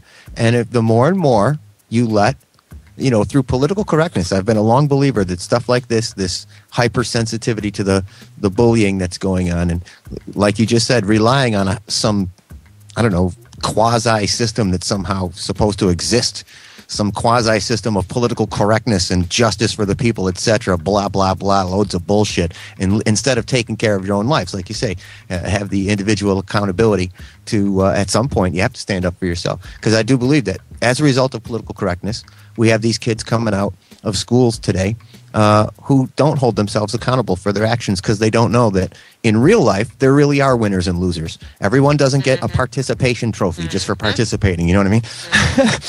yeah. and, and you learn that stuff by letting kids live life. And uh, more and more that you give power to the government, more and more you're giving them the power to make decisions like that for you. So I'm really glad to hear you say that, Wills. I mean, really, let's get out of the this. start of a bromance. What's going on here? I mean, let's get out of a police state. You don't want the police controlling your whole life. Absolutely I mean, you're not. starting to You're get right. into borders of moral police. You know, Right. Am I going to Exactly. get? You know, is it going to be like a demolition man where I get fined for cussing? You know, I say fuck and a ticket comes out. Like, I don't want to live in that society. I wanna live in have- that society. 'cause My nine-year-old son makes me accountable for everything I fucking Oh, you- say. You So got no- you got a swear jar at home. I got to put a quarter in the swear No, jar. because I'd be freaking broke more than I already am. So no, we don't play that way. He just gives me lectures, and I'm like, okay, I'm sorry. That's great. But now your kid, at least your kid is mature enough, and you've he obviously you've done a good job raising him for him to recognize that and and see that. And that's all these other this all these kids need is some direction. I you know like what if a kid is getting beat up by his dad at home? That's all he knows. Mhm. He goes in the school and bullies this kid. Right. So And he now- feels good about himself. Mhm. So he feels good by himself because that's all he's learned through his parents at home. Right. And then you throw his ass in jail. Oh yeah, that's problem solved. That kid's gonna be really fixed after. He Well, here's a couple interesting ones for you that are related to this. Well, I don't think we had time a couple shows ago. I was going to bring this up. I heard, I read two very interesting stories in the Boston, both of them in the Boston, Massachusetts area. Um, one where a nine-year-old boy was uh, suspended for saying that his teacher was cute. Nine years old, or maybe seven years old, said his teacher was cute, and they suspended him for two or three days for sexual harassment. Harassment. And the mom of the child was like livid. She's like, you know, he's freaking nine years old. He doesn't know what freaking sexual harassment is yet. Right. You know what I mean? doesn't have sex Yeah. And even if he does, you know, at what point do you stop being so fucking hypersensitive about everything and just Oh, flip out over a nine year old saying teacher's cute, right? So that was one. And the other one was, I think it was a seven year old who was was being bullied um, by a bigger kid and did at one point take matters into his own hands by kicking the bully in the nuts. Yeah. Seven year old who kicked the bully in the nuts got suspended for three days for sexual harassment. They, they actually made that a sexual harassment charge for kicking the other kid in the nuts. And the kid who was standing up for himself finally after being bullied. So there's another example of the political correctness and the policing of everything gone awry because you let justice take care of itself, then it will. But you you put some sort of establishment's fingers into it, and it's going to get it all fucked up. First one is awful, like you said. First one is awful. Second one, maybe that kid had some like uh, influential parents. I don't know. That sounds like a, you know, an Oh, sure. elitist of the school or something. And they, Sure. let's kick this kid out of school because his parents donated some money to the school. We can't kick him out. You can get wherever way. I don't know. That's all conspiracy theory hearsay, but exactly right. And stupid, stupid rich kids. I hate them all. Just kidding. I don't. I, uh, have you ever met somebody like that? Yeah. well, I Uh, think we're bringing up a generation of, of people that envy the rich instead of wanting to emulate the rich. So this is, you know, it's just all a product of again this political correctness gone awry. Well, here we go. Like, here's something that's wrong with the system. Let's talk about, uh, you know, bring it up. It's been in the news. It comes in over. I'm sure you're tired of hearing it. Uh, you know, Jerry Sandusky uh, was supposed to uh, be arraigned in court for pretrial um, pretrial hearing where he was supposed to uh, uh, his victims were supposed to get testimony. You know, they were going to get questioned, Right. and then he pulls a Preliminary trial. I, it, smart move in his idea, but kind of a dick move for the victims. He says, "Well, I'm going to waive that pretrial stuff." You know, Right, So the victims were all set up to pour their hearts out. Now they go back. But anyway, back to the whole situation, as far as like the system, and you know, everybody dogged out Joe Paterno. Said you didn't do enough. You didn't do anything. They stripped him of his uh, coaching. they stripped him of everything. Now, I heard a similar situation uh, that happened in a school where the kid came up, a kid came up and, and said, you know, was doing some sexual things to other students. And when they contacted his foster mom, his foster mom said, Oh, that's just how we play at home. Oh. So, Yeah, he's got a pretty mouth. That's how we play at home. was that Florida or was that Germany? Guys decide. Florida, Florida. so as a teacher and you've been through the system chief i mean you know what's Sir. going on mm-hmm. Mm-hmm. what how what steps do you take i mean what do you do are you supposed to go straight to the police are you supposed to go to your supervisor your Yeah, principal? you know there is that that Yeah. pecking order, that hierarchy that you're supposed to follow, and you're supposed to trust and have faith in the system that's presented before you. Um, I had a scenario where I had uh, not in that realm, but I had a cutter. If everybody's familiar with what a cutter is, and I, this is when I was teaching in the middle school level, so this is when it really begins. This is kind like of a uh like a self mutilator, somebody. goth- gothic or emo kid that cuts himself or something Yeah, well, and it was a her, to be honest with you, and she, uh, you know, just was finding herself, I suppose, and crying out for attention and what have you. And so it comes to my attention she's cutting, and she liked me very well because I was cool, and I, it, I had to sort of betray the trust to get her help. And so you go on this hierarchy of who you're supposed to speak to. First, the guidance counselor, the social worker, bring mom in for a meeting. The kid goes all freaky out. But it's just, um, it's an imperfect system, it's unfortunately. compli- it's complicated let me It ask is you this complicated, let me, yeah. let me ask you and let me give you the scenario that was put at hand Okay. The situation was reported to the principal to the superintendent Mhm. to the social worker. Mm-hmm. and they said we're going to sort this out. We will get back to you. It's going to take time though. We're going to get back to you in a couple weeks a month. They really didn't specify. We'll get back to you. It's going to take Get back time. to you. Dot, dot, dot. Yeah. so what do you do in that situation when the establishment says that to you? Like how, what how do you handle that? Well, you get frustrated, you swear, uh, you know, behind closed doors and you try your best to do your job in the limitations that the law gives you. And in my, like I said, I can really only talk about what I personally went through, and what that was was the child continued to cut herself, and it was always um, superficial enough, I guess, that it was never taken extraordinarily seriously. And But I'm saying in a situation of sexual abuse. Right. What, Well- do you do in that situation? Do you trust your the the establishment to take care of it, or do you just do you yourself go to the say screw this, screw the establishment, I'm going straight to the police? You know, you're sort of handcuffed, and to be honest with you, I'm not even sure if you can really get that far with the police because everything goes back to your supervisors and your um, administration in those scenarios, and you have to have a paper trail, you have to have those files, so it's very difficult. You, a teacher is really handcuffed. Hey, listen, I'm retired. And I'm not old enough to be retired, but I'm retired because it was that frustrating for me to have the law shackle me the way it did. And so I saw things that I did not approve of. I was not able to get involved when I knew I could be helpful, and I walked away because at some point you get tired of hitting your head against the wall and nothing changes. So it's it's an imperfect system, guys. I, I wish I had better news for you. And I'm a positive person, mm. but it, it's difficult. I, I really have a hard time blaming everybody that the media is blaming on this whole thing going down at Penn State or Syracuse or wherever you know you want to point the the spotlight. Um, if there was telling to be told, and then it, you sort of think, okay, I've done what I can. I, I think it's great when people are, oh well, if it were me, I would. But you know what? Until it's you, you don't have any fucking clue what you're going to do. You don't know what's going on in the You system. have You don't no know idea. exactly. And it is the most stressful thing in your life. That's your Believe me. that's your job. It's your livelihood. That's your the thing is, it's a livelihood. You know, a job is fucking um, McDonald's for four hour shift. That's a job. You're talking about a career here, and a career is something that you're trying to do your entire working life.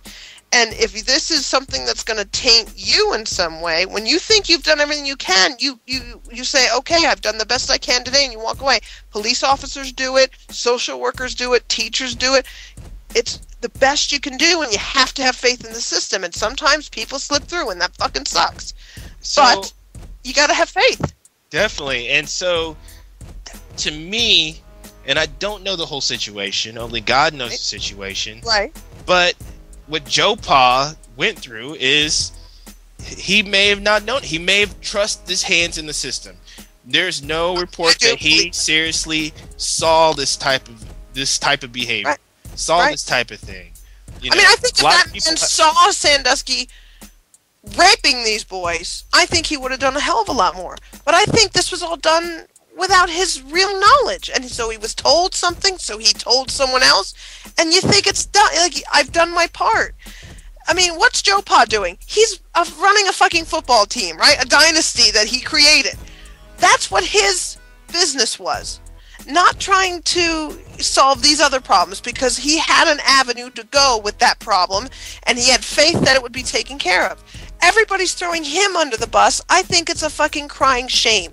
It's it's a travesty in my opinion.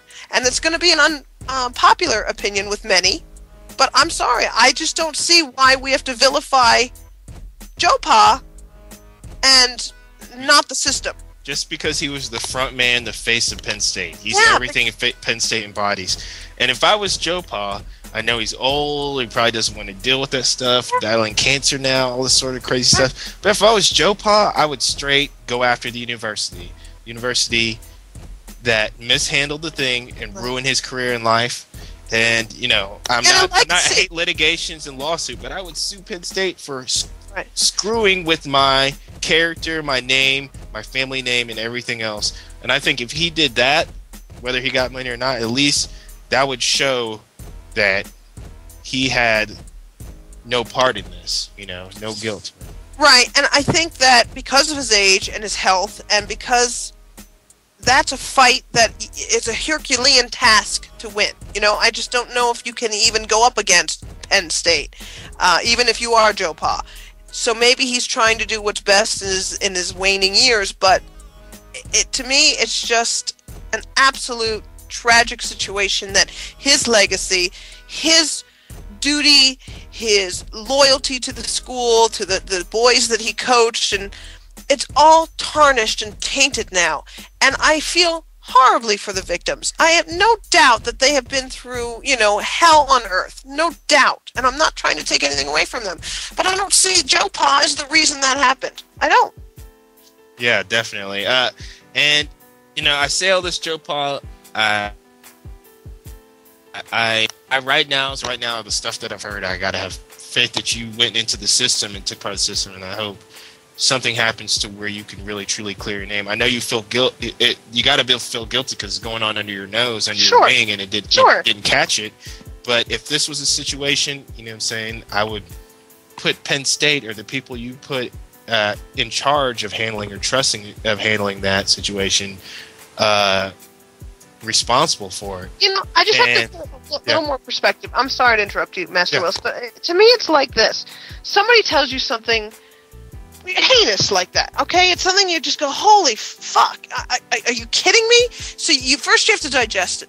Then you go, "Okay, my training tells me I'm supposed to do this," but you also probably, like most of us would do, take it with a grain of salt. Or is there exaggeration here? Do I know the facts? Have I seen this happen? Do my senses tell me that this is correct? I mean, there's a whole um, realm of criteria that we're not privy to that Joe Pa may or may not have went through. But how would we have reacted? That's where I go.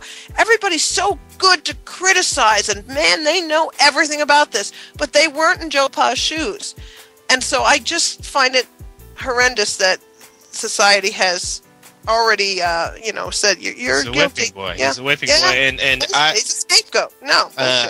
I- and what I do, I got, I want to take a quick break. I want to get back. I want to talk more about the uh, political race and stuff like this coming up after the break. But uh, real quick, closing point: uh, Sandusky, your scum, uh, which Mhm. Rico has uh, so adamantly put out there, uh, and Joe Pa. I hope you stand up to this if you were not a part of it. But if you did know, you know, screw you, you know, screw you and the whole university and everything else. Right now, I got faith in you, but if I found, you know, right now, uh, you know, you're not guilty till proven innocent, or till proven not innocent But till if proven Joe you make a fool of me, why Man. I will do everything I can. Then I will talk trash about you till the end of 2012. hey, what I want to do is take another quick break, man. We got into a heated debate, but there's more to come, more conversation. That's what we like to do. You're listening to the main event on eventlevel.com. We'll be right back after this indie music break. You're tuned into the main event. Keep that browser locked.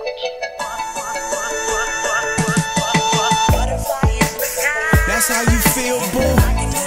Damn, that's how I feel too.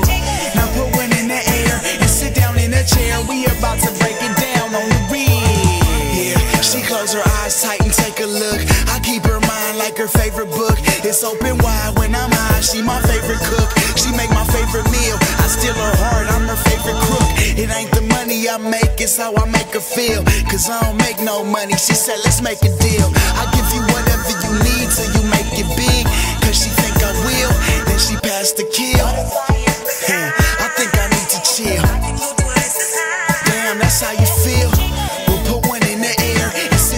Down chair. We about to break it down on the real. Yeah, bet this how deep meditation feel. We barely speak, having deep conversations still. Like how you get like that. I used to read a lot of books back in third grade. I guess the worst stayed. So what I'm saying to you is I could take you to the land where the magic is. You could be Jasmine and lay on my carpet and we can ride like Aladdin did. I can show you the world, let me define traveling. Along if you not scared. I can take you there. I can take you there. Let me take you there. I can take you there. I'ma take you there. Let me take you there. We had a little cipher. The highs wearing off, but she still feels like a. I think I need to chill. Damn, that's how you feel.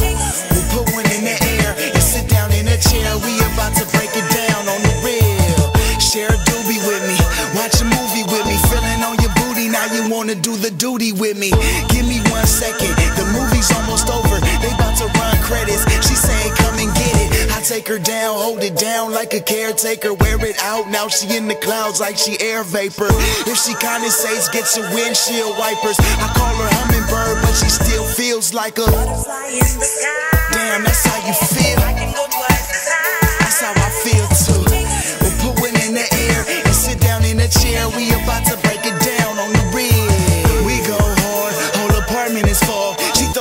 disappeared, but I was just really gone. The purple disappeared, she was just hella blown. This shit is hella strong, and we laugh for hella long. We stoned, now she wanna go star searching. Girl, you didn't know my name is LeVar Burton. I could show you rainbows, no Skittles, or Starburst, and ask me what I wanna do in my life. I'm not certain, cause.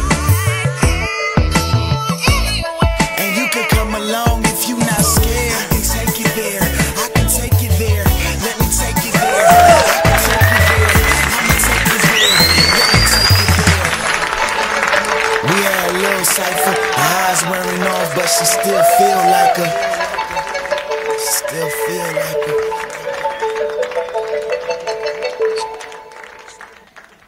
What up, everybody? Far You're out. back on the main event here on eventlevel.com.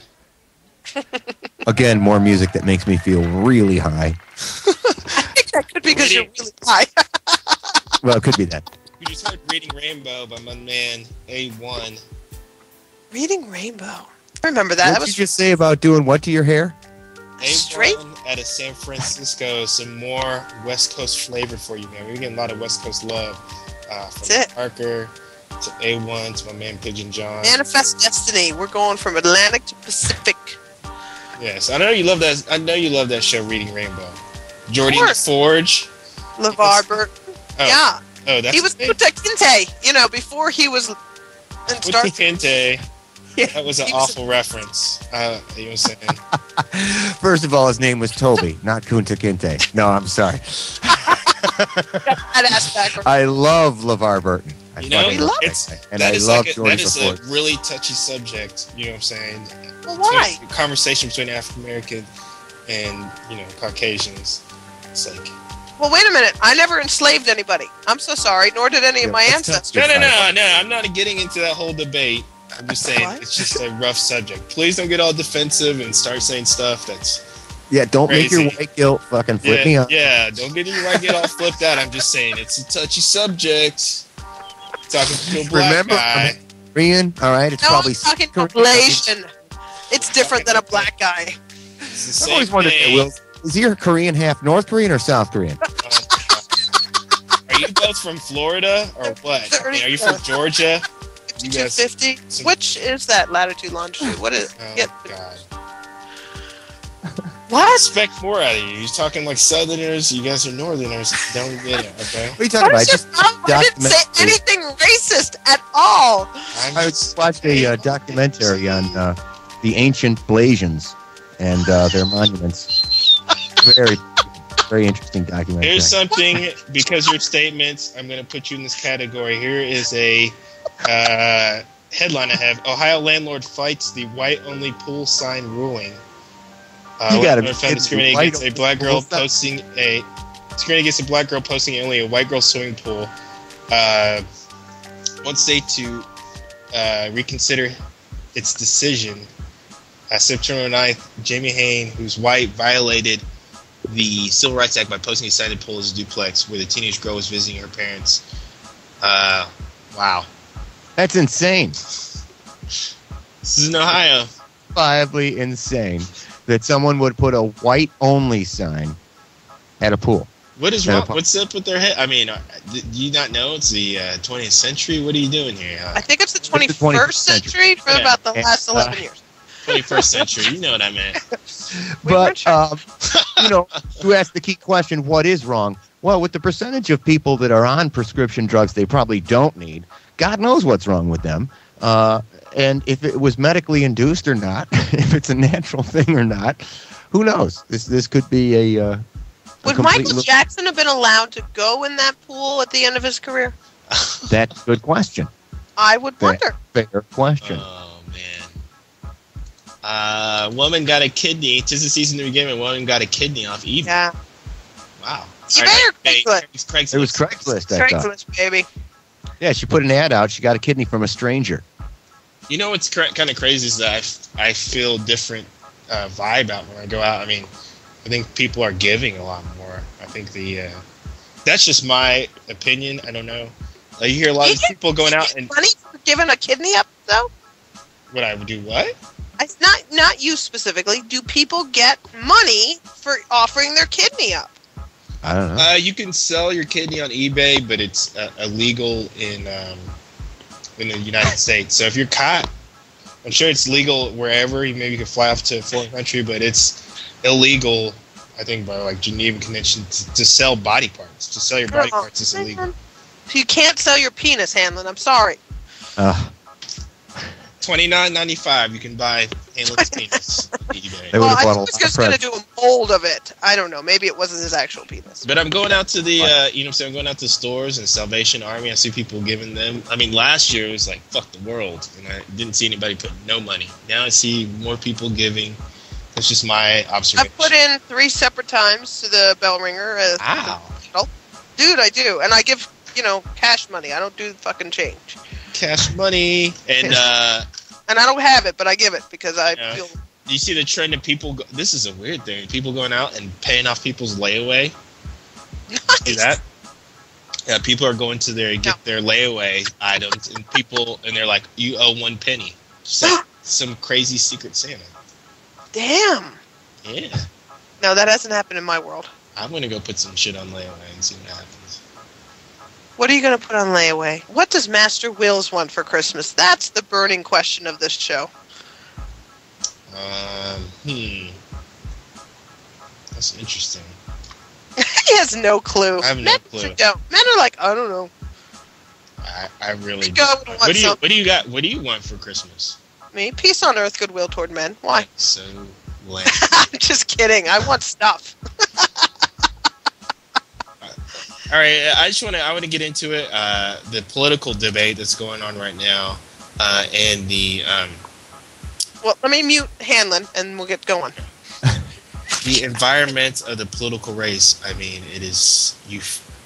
There, the candidate race is really starting to take form. As far as I think, uh, a lot of the these Republican candidates are starting to get filtered out, um, and you're seeing every you know all these people falling off. I mean, the strong front runners right now, you know, I would say would be uh, Mitt Romney, Newt Gingrich, maybe in a third Ron Paul.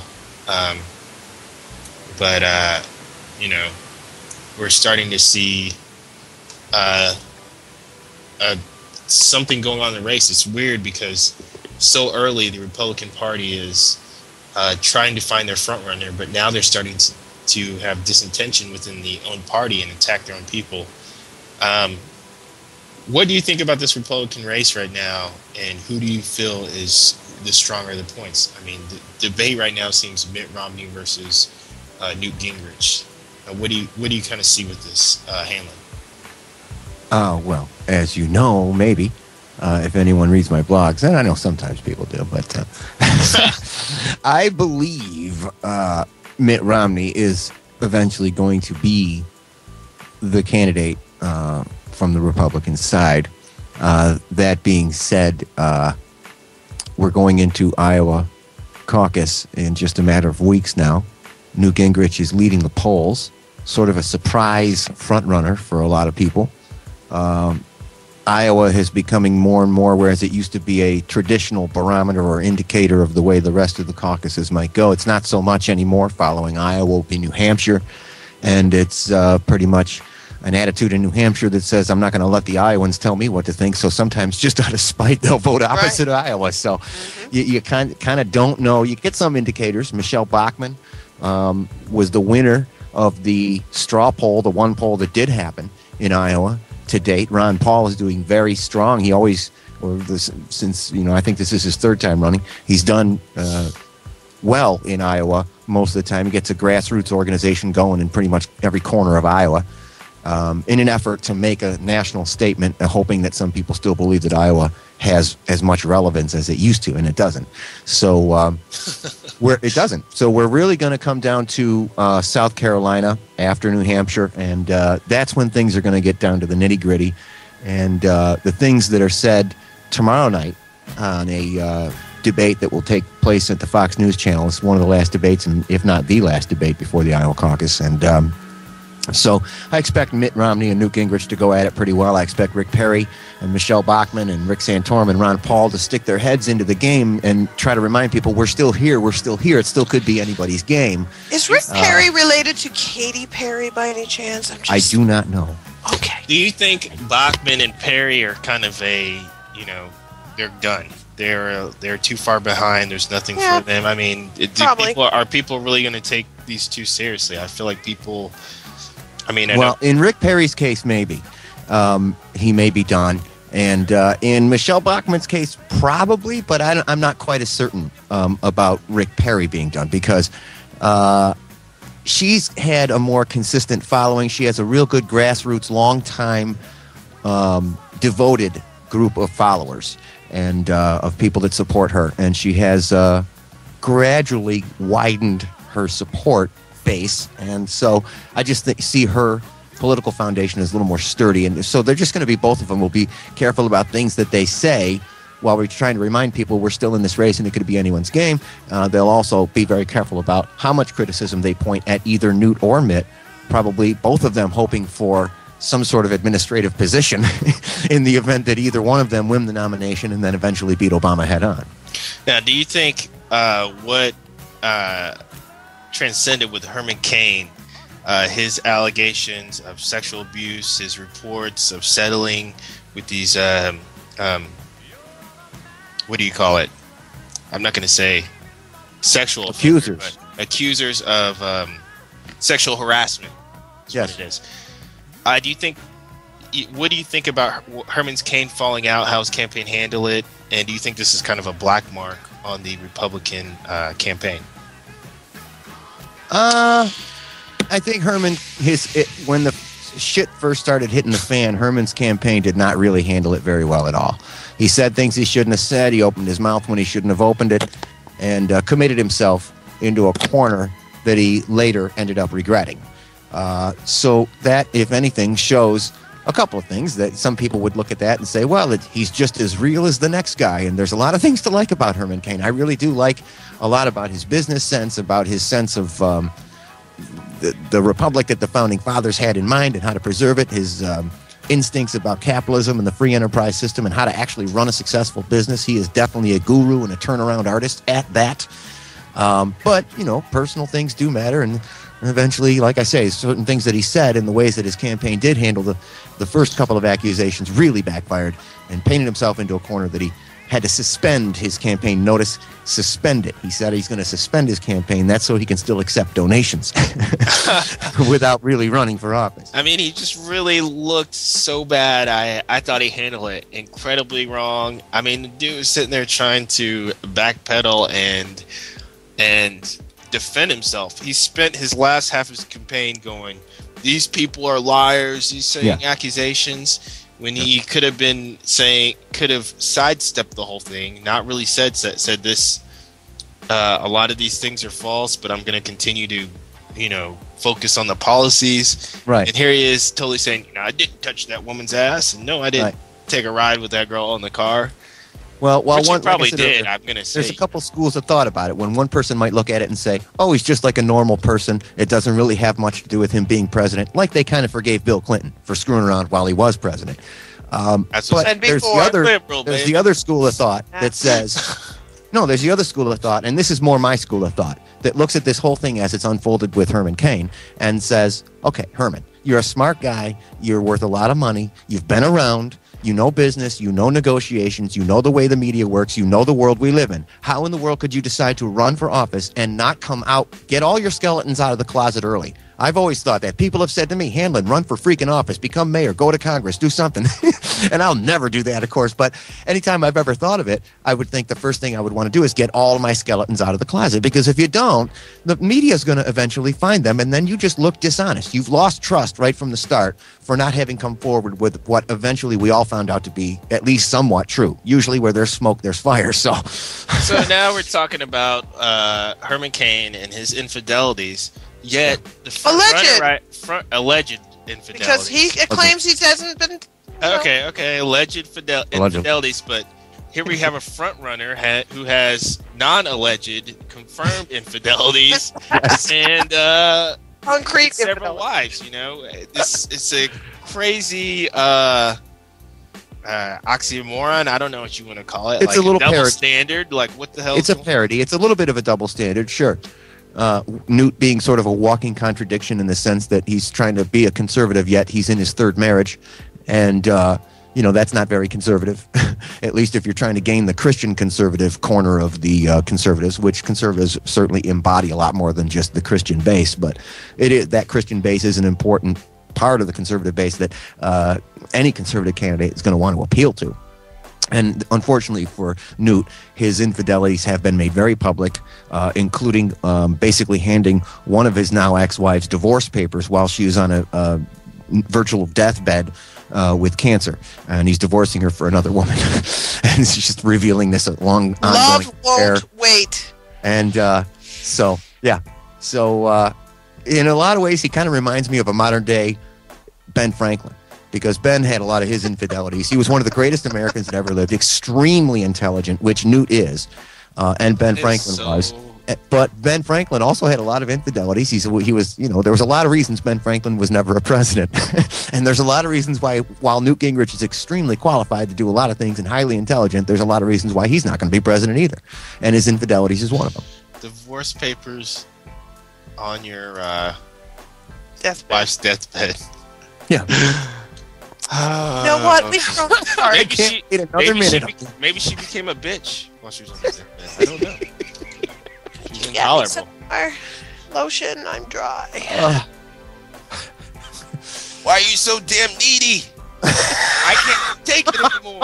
Bitch. Right will you stop your whining already? Suck it up. Other people have cancer. Why can't you be kind? You know, it just you know, like much like the uh, Jerry Sandusky or the uh, JoePa defending you guys coming to defense of JoePa. You know, we weren't really there either. I mean, who knows? Maybe there was miles and miles of resentment built up to, to the point where Newt said, "Fuck this, this bitch deserves it." You know, who knows whatever the case was, but. But on the outside, it doesn't look good. That, that aspect of, of, of Newt's persona. Now, here's my last and final question. Uh, uh, it's about time we got to take another break here. Here's my last and final question about the whole thing is that with Mitt Romney and Newt Gingrich looking to be the top front runners, and there has now become a, a feud within the party, and you see uh, what I see is a lot of Mitt Romney attacking and a lot of Newt Gingrich stepping back and saying, you know, I, I think Mitt is a great guy. I think he would be a great runner. I'm focusing on the policies, which is I'd kind of say maybe the high road. I don't know, but do you No, that's not the. Newt- okay. Okay. Newt is saying a lot more than that. Okay. Well, do you think that this bickering between the party uh, creates it helps the Democrats, helps the Obama campaign, uh, and do you do you think this is the right time for it? And do you think it's damage? Do you think it's damaging? I think it's very vote healthy. I think it's very, very healthy. Uh, it's healthy politics for any party to continue to identify itself and strengthen each argument that it has, each position that it has. And this is a good way to go about it, is to call each other out on every level possible that matters to whatever aspects of our platform we're running on. And there are many. Uh, so uh, I do think it's a very, very healthy thing. I often wish the Democrats would do more of it instead of having forty thousand dollar a plate dinners and blowing smoke each other up each other's ass with the press all night. Uh, they don't get real with each other, and that's what the Republican side does do. And uh, I think it's a very, very healthy thing, and it refines their argument to the end so that they're certain, they're absolutely certain about their candidate, whoever it is, um, at the end of the line. So you don't think it's damaging at all? Uh, It can be damaging maybe on some surface levels, but the damage that it does is not long lasting. I think most experienced um, politicians and or businessmen know that. And uh, they don't take a lot of things personally. And like I said, Newt has not been Mr. Nice Guy about Mitt Romney. There's one thing that Newt Gingrich said just a couple days ago uh, that I already said on another radio show that uh, on the, one of the Man Cave shows that uh, he's going to pay for. He's going to regret having said what he said about um, Mitt Romney having created bankruptcies. Um, the issue is about, regarding Newt Gingrich having received money from Freddie Mac um, which was one of the two uh, government agencies in housing, Freddie Mac and Fannie Mae, uh, that went belly up, and the taxpayer basically had to bail out twice uh, under the um, wonderful stewardship of one Barney Frank, who is no longer running for reelection. What a coincidence. Uh, Barney Frank is a beautiful example of how you go to Congress, make $96 million. That's awesome. and leave.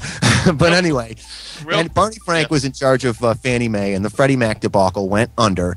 Um, you know, they forced the banks to give loans to people that um, never could have paid those loans, didn't qualify for those loans. A lot of mortgages went upside down. Taxpayer ends up paying for it. Newt Gingrich was hired by Freddie Mac as a financial consultant and paid $1.6 million to be a financial consultant for Freddie Mac. Now, Mitt Romney was in a diner in New Hampshire about a week ago, or maybe five days ago, and he was asked by, I think, Brian Kilmeade of Fox News, Do you think Newt Gingrich should pay the $1.6 million he was paid as a financial consultant to Freddie Mac? Do you think he should pay that back since Freddie Mac went upside down and the taxpayers paid for that?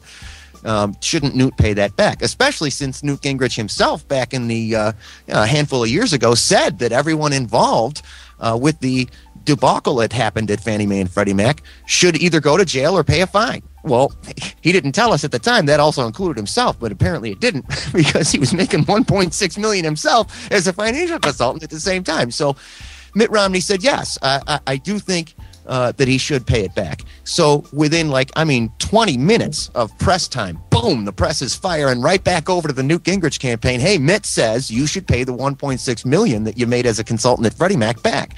And Newt said, I think something that he will pay dearly for in the long run. And what it was was he said if Mr. Romney, Governor Romney is ready to pay back the money he's made making companies go bankrupt as he's been a financial consultant at Bain Consulting, then I will pay back the 1.6 million. And I think that was a horrible thing for him to say, and here's why.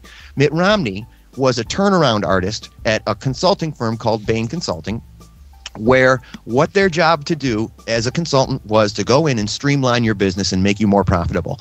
Yes, sometimes when that happens, there are layoffs. And yes, there were layoffs as a result of different recommendations that Bain Consulting, uh, with Mitt Romney's help, made to certain companies, which did in turn streamline themselves and make themselves more productive. And in uh, many other cases, Bain Consulting got behind some small ideas where guys came to them with 20 employees, and Bain Consulting liked the idea so much the business flourished into 80,000 employees, like a company like Staples, office supply company. That's another company that uh, Mitt Romney helped grow from nothing to something.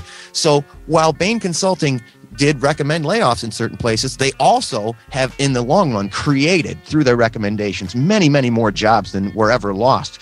And the whole idea is that he's making an argument about Mitt Romney partaking what is as the essence of a free market economy and capitalism itself, which is taking the risk.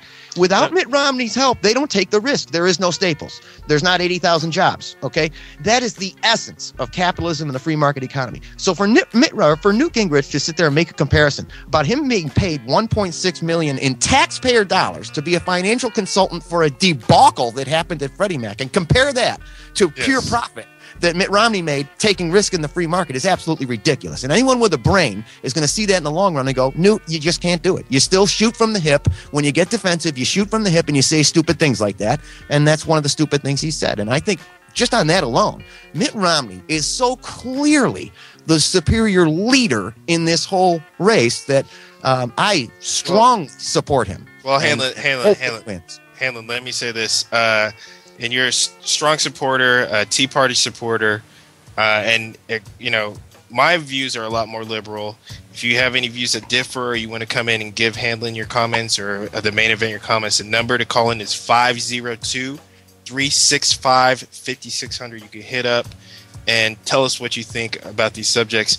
But uh, Hanlon, um, you know, from what I see, and obviously you support Mitt Romney over Newt Gingrich.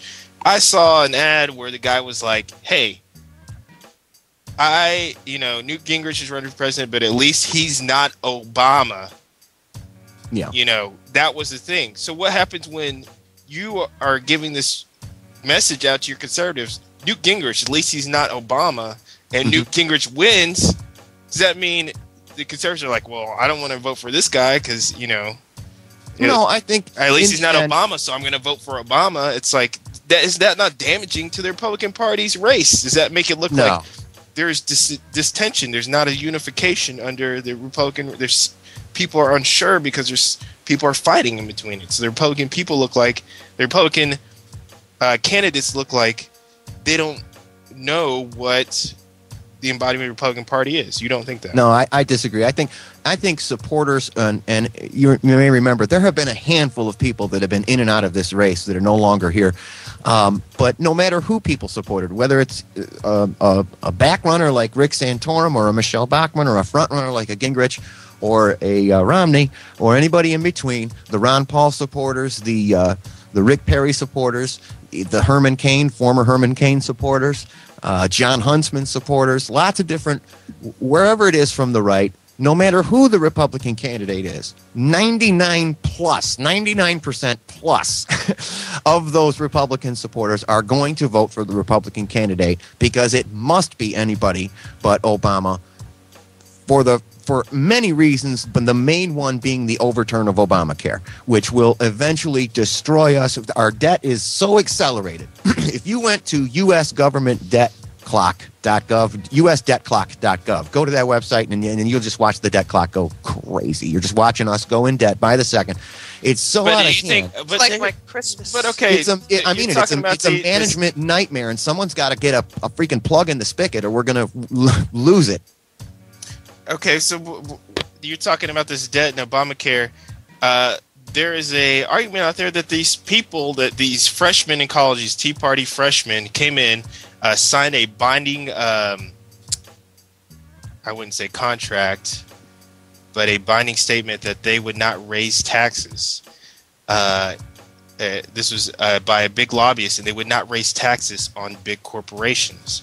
And um, the the these parties has this party, this Tea Party, these freshmen, these freshmen that came in, are supporting a raise of taxes on the middle class Americans, yet they're not.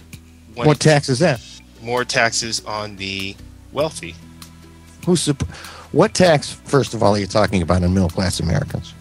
That they're They're support- supporting a raise of tax on the middle class income and no new taxes on uh, these people that are these corporations that are making tons and tons of money. No corporation tax, no raising corporation tax, no taxing the uh, five percent rich, but let's raise taxes on the middle class, which they seems like the Tea Party, embell- ridiculous. the name Tea Party, would not want to raise taxes on the middle class. Yet no, this- that's the last thing the Tea Party wants to do.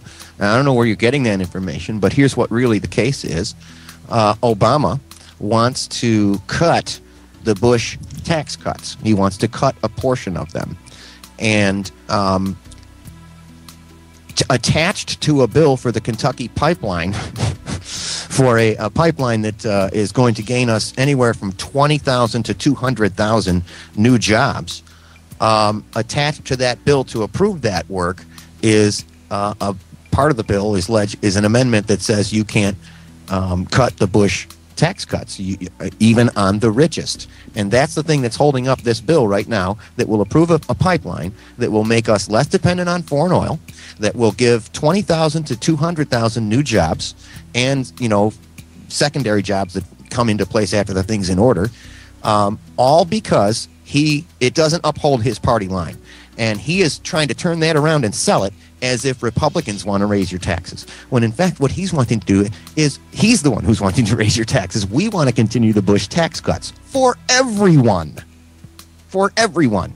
I I, I say again, I, I'm going to draw a reference to something I heard Adam Carolla. You may be familiar with Adam Carolla. He's a comedian who used to do The Man Show with Jimmy Kimmel. Adam Carolla made a reference the other day about how Mr. when- Unibrow.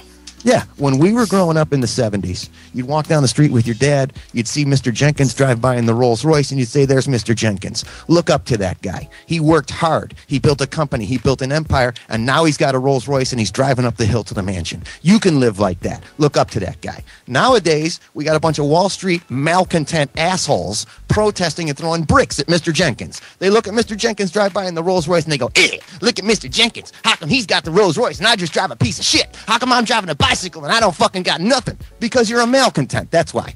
You don't look up to Mr. Jenkins anymore. Now you're envious of him. That is a complete turnaround of what capitalism and free enterprise is supposed to be all about. You're supposed to look up to Mr. Jenkins. I and I want to tax him into oblivion so he comes down and lives in the gutter with you. Who does that make rich? Nobody. How are we taxing? I want a job from Mr. Jenkins. How are we taxing them in oblivion? I mean, the tax cut raise is you know uh, thousands of dollars on the million dollars. Te- Mr. Jenkins, I think it's a different climate back in the back from the 1950s. You're talking about something totally. You're talking about to- two totally different paradigms. If we are in a economic crisis, which we need to fix, and then we can go and do whatever reforms we have to do. Why is it that somebody who's making, and I'm not talking about the person that's making uh, a million dollars or five million dollars. I'm talking these people that are making billions of dollars. If you're talking about raising these taxes, these top five percenters, why is that a bad thing to help Okay, I'll explain revive the comedy? Uh, uh, economy, uh, uh, economy. I will sorry. explain that. Okay. I can explain that. That's a great question. Uh, and there's a couple answers to it. One, right now, the richest 1% of this country pays over 50% of the tax base. That's not fair. The richest 10% of this country pays over 70% of the tax base. That's not fair. You're going to them and you're saying you're not paying enough. You're saying to the richest 10%, 70% of the tax base that the government collects every year isn't enough from you, doctor, from you, lawyer, from you, professional who worked your ass off to get where you are, company owner, corporate guy, evil corporate guy who I throw bricks at and call shitty names. I need more of your money. Why do I need more of your money? Well, because I run terrible things like the post office and waste money every day, running social programs that don't fucking work. And so I need more why money. do I say that? evil and rich. Why do I say that? Is because I feel these corporations are run by board of directors that are not. It's all controlled by board of directors. Uh, these people that buy stocks, buy stuff, and the main focus, which may have not been the time before, I, the main focus is how do we make more money? And how do we make more money? We make cutbacks. We cut people and we make more money with less people, less workforce. Therefore, we're not going to create more jobs and we're going to pay people less. I disagree. Because people freedoms. I disagree. I disagree. You sound like Obama when you say that, who blames ATMs and the internet for losing people's jobs. You know what? When the car was invented, the guy who made horse carriages also lost his job. Buggy whip guy went out of business. You know, it's called capitalism. Buggy whip. the guy who made buggy whips and he was the richest Mr. Jenkins on the top of the hill, he couldn't make buggy whips anymore Is because that no when one was S&M buying was them. born? I'm just curious. because the car was invented. It's called capitalism. The internet is a wonderful thing. And Obama, in a speech just last week, shit all over it and said it's to blame. It's to blame for you losing your job. That ATM, it made you lose your job. I mean, he blames technology. Are you kidding me? Now, that's answer one. Answer two, I want to get to. Here's another reason why you don't tax the rich into oblivion. Let's just say for a second, okay, you're all right. 70% from the richest 10% isn't enough, which is absurd. But let's just entertain that thought for a moment and say, okay, let's make it 90%. In fact, why don't you pay 99%? And you can just live down here. I don't know if you've ever seen the movie Dr. Zhivago, but Dr. Zhivago, now 20 people are going to live in your house because you have too much room in your house. You, you need to house 20 people for free in there. So we're going to take 99%. Let's just say you taxed that richest 10% into absolute poverty.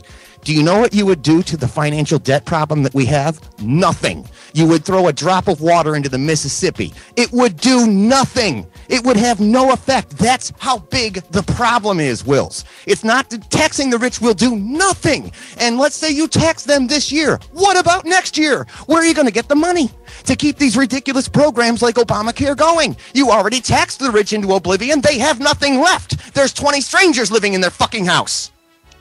Where are you going to get the money then?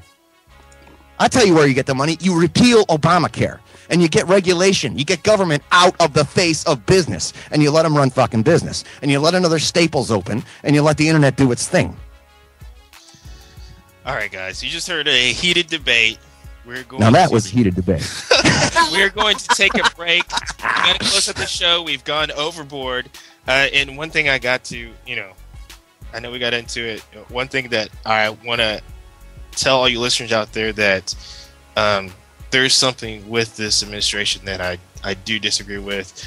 And you brought up the internet is that there's a uh, blacklist campaign and a campaign against our internet and our freedom to information and everything. And, and, and that's something we do have to fight for as Americans. Uh, you know, freedom is the ul- ultimate equalizer. Uh, freedom of information through we get through the internet is the ultimate equalizer to our society. So please, if you have anybody that's going to um, try to do this incredible internet policing campaign, you know, let's fight against that. You know what I'm saying? We're out here for the indie people and everybody else.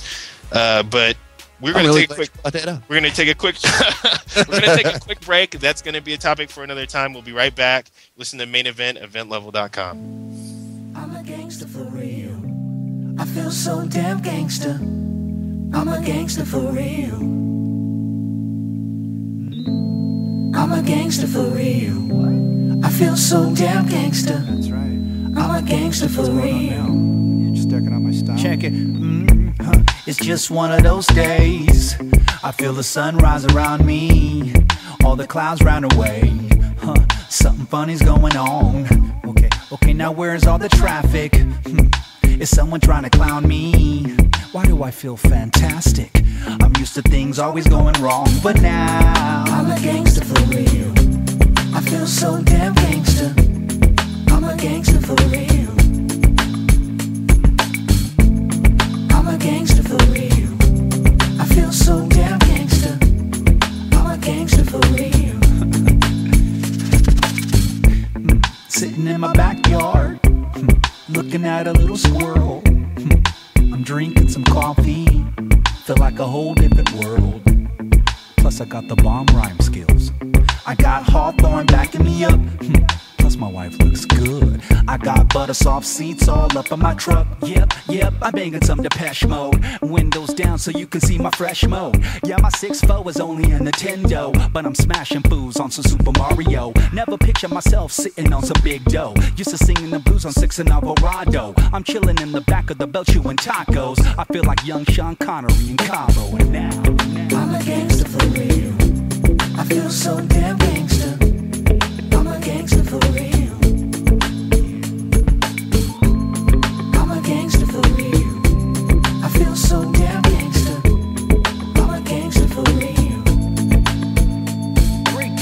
Act like you in Cabo. Let me take you out. We'll go to Denny's on Vermont and we'll get waffles on the house. Yeah, act like you in Cabo. Let me take you out. We'll go to Denny's on Vermont and we'll get waffles on the house. Check it. Watch the young Duke Ellington make the place gelatin. Shake the fake Felligan. I the black Gilligan. To keep seeking, keep reaching the seeds peaking. Keep reaping, keep breathing the same reason I leak venom. Every time I choose to spit them in a line, hit them with an unusual rhythm that you never heard of. Similar words ever spoken, forever hurting those who oppose. I'm not joking, cause now I'm a gangster for real. I feel so damn gangster. Gangster for real. I'm a gangster for real. I feel so damn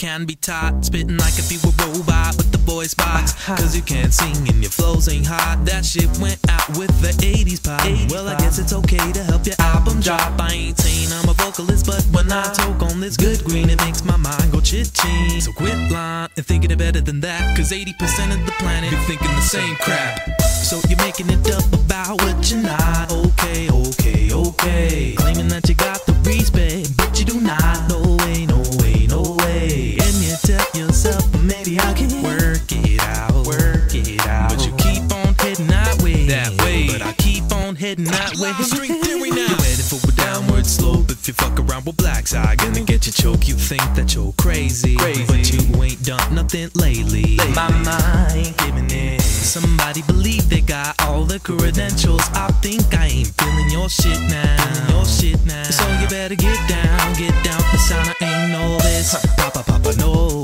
this. My profile, la la la la, low like this. Straight up and down, and I'll be honest. I shake up the ground like plate tectonics. I rip right through the magnitude. Thought you knew anybody won't try. What, what to do now? I bring the heat, bring it. You know me, know me. I'm straight spitting, highest degree. And putting out shit from scratch to visionary. Feeding the world wide as the Milky Way dairy. My mind one, you sons be complimentary. The style's hitting, I'm kidding those out to get me. I don't fear man, the clan be stone ninja. Who else keeping it real? You don't figure? A lot of motherfuckers try. Keep trying, but they ain't But a lot of they souls couldn't get high. So you're making it up about what you're not. Okay, okay, okay. Claiming that you got the respect, but you do not. No way, no way, no way. And you tell yourself, maybe I can work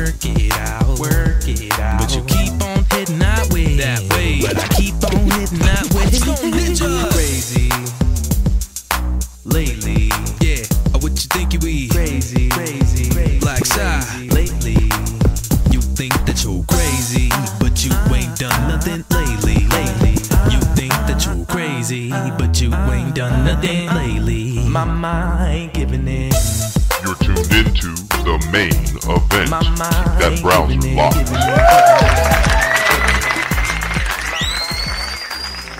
What up, everybody? Get back on the main event. I think it's East Coast, West Coast, North and South. I give it all love, and tonight we're giving tons of West Coast love. You just heard Stone Ninjas from Arizona, No Way. And again, our guest of the night, Pigeon John from California. So gangster. My boyfriend. Yes. Chief 187's new boyfriend who likes Jersey girls. That's yes, he loves us and me.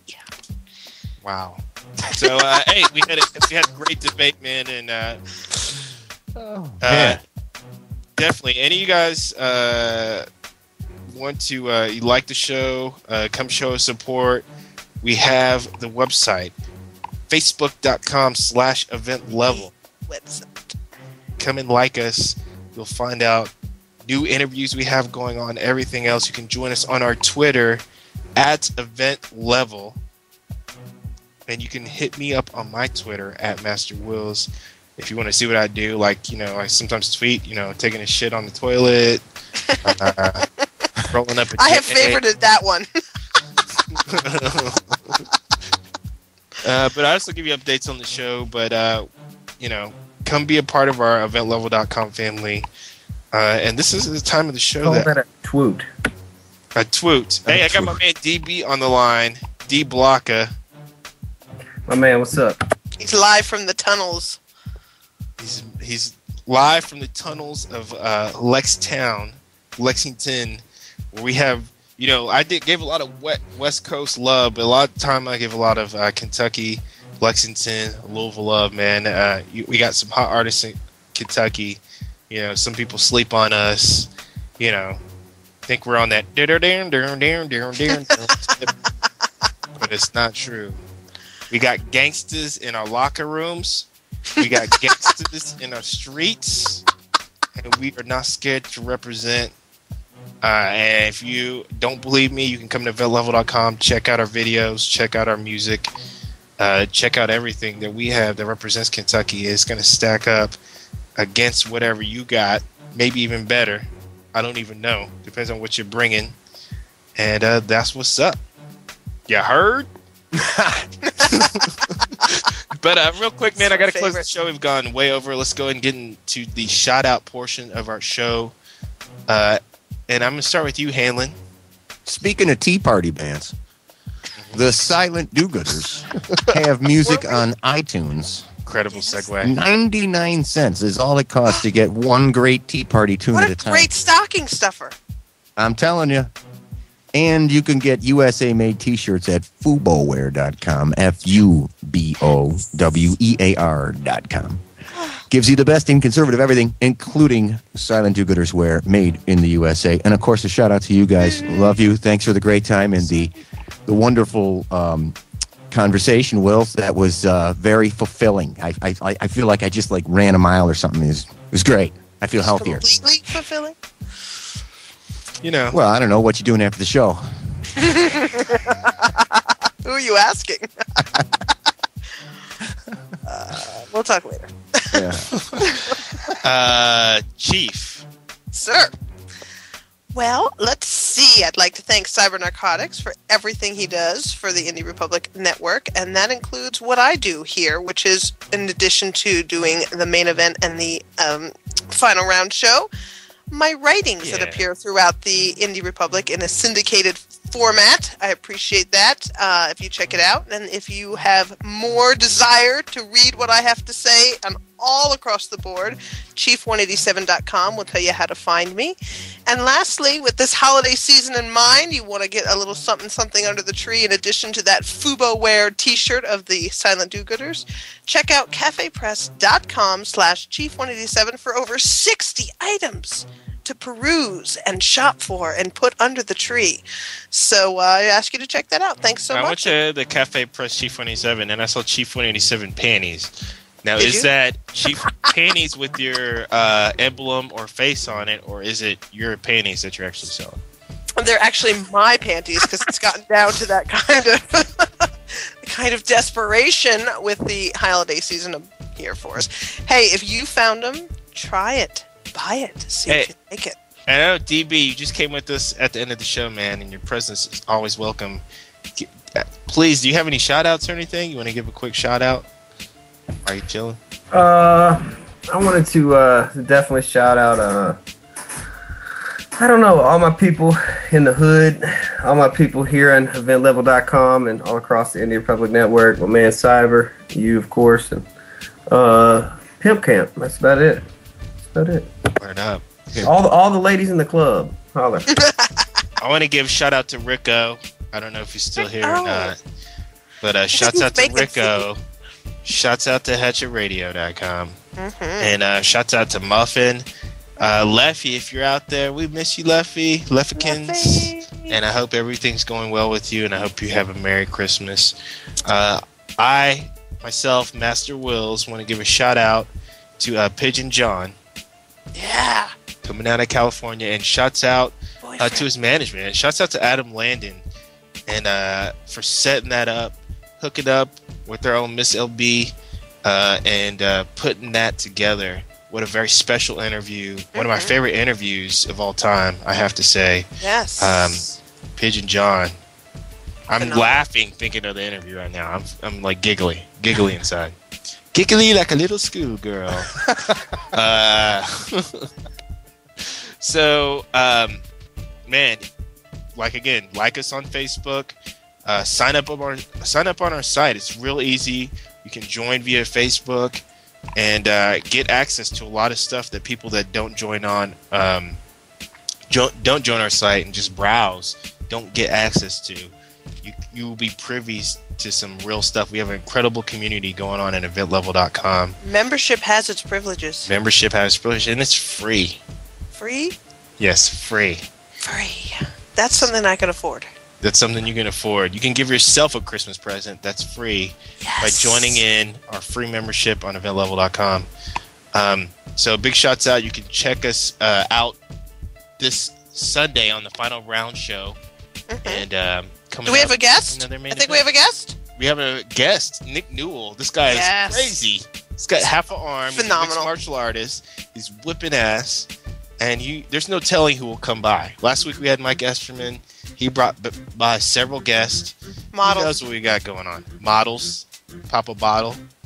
See the booty waddle. We got models on the show. And uh, you know, check out all of the shows. Redwood and the Wolf. Um, Trap Main- House. Mano was on the uh, Trap House Rock show with Miss LB and Zenith Star the other night. Incredibly impressed. And uh, so check out all those podcasts, check out all the shows, and everything we're doing. You can see Chief 187 on our site, her blog, and uh, keep up with all the hijinks. Um, and until next time, man, I, well, the shows are just going to keep getting better. I want to thank all your guests for all your support, all your love you're giving to us, eventlevel.com, the Event Level family, the Indie Republic family, keeping it real for all the indie artists, gangsters out there. I don't care whether you're doing music, whether you're doing art, poetry, uh, movies, you know, whatever your game is, whatever your hustle is, texting, sexting, sexting while driving. I don't care what you do out there. we support you. We love you. We love the fans. And uh, can't wait to be with you next time here on the main event on eventlevel.com. This is Master Willz, and I'm out. Happy holidays. Peace.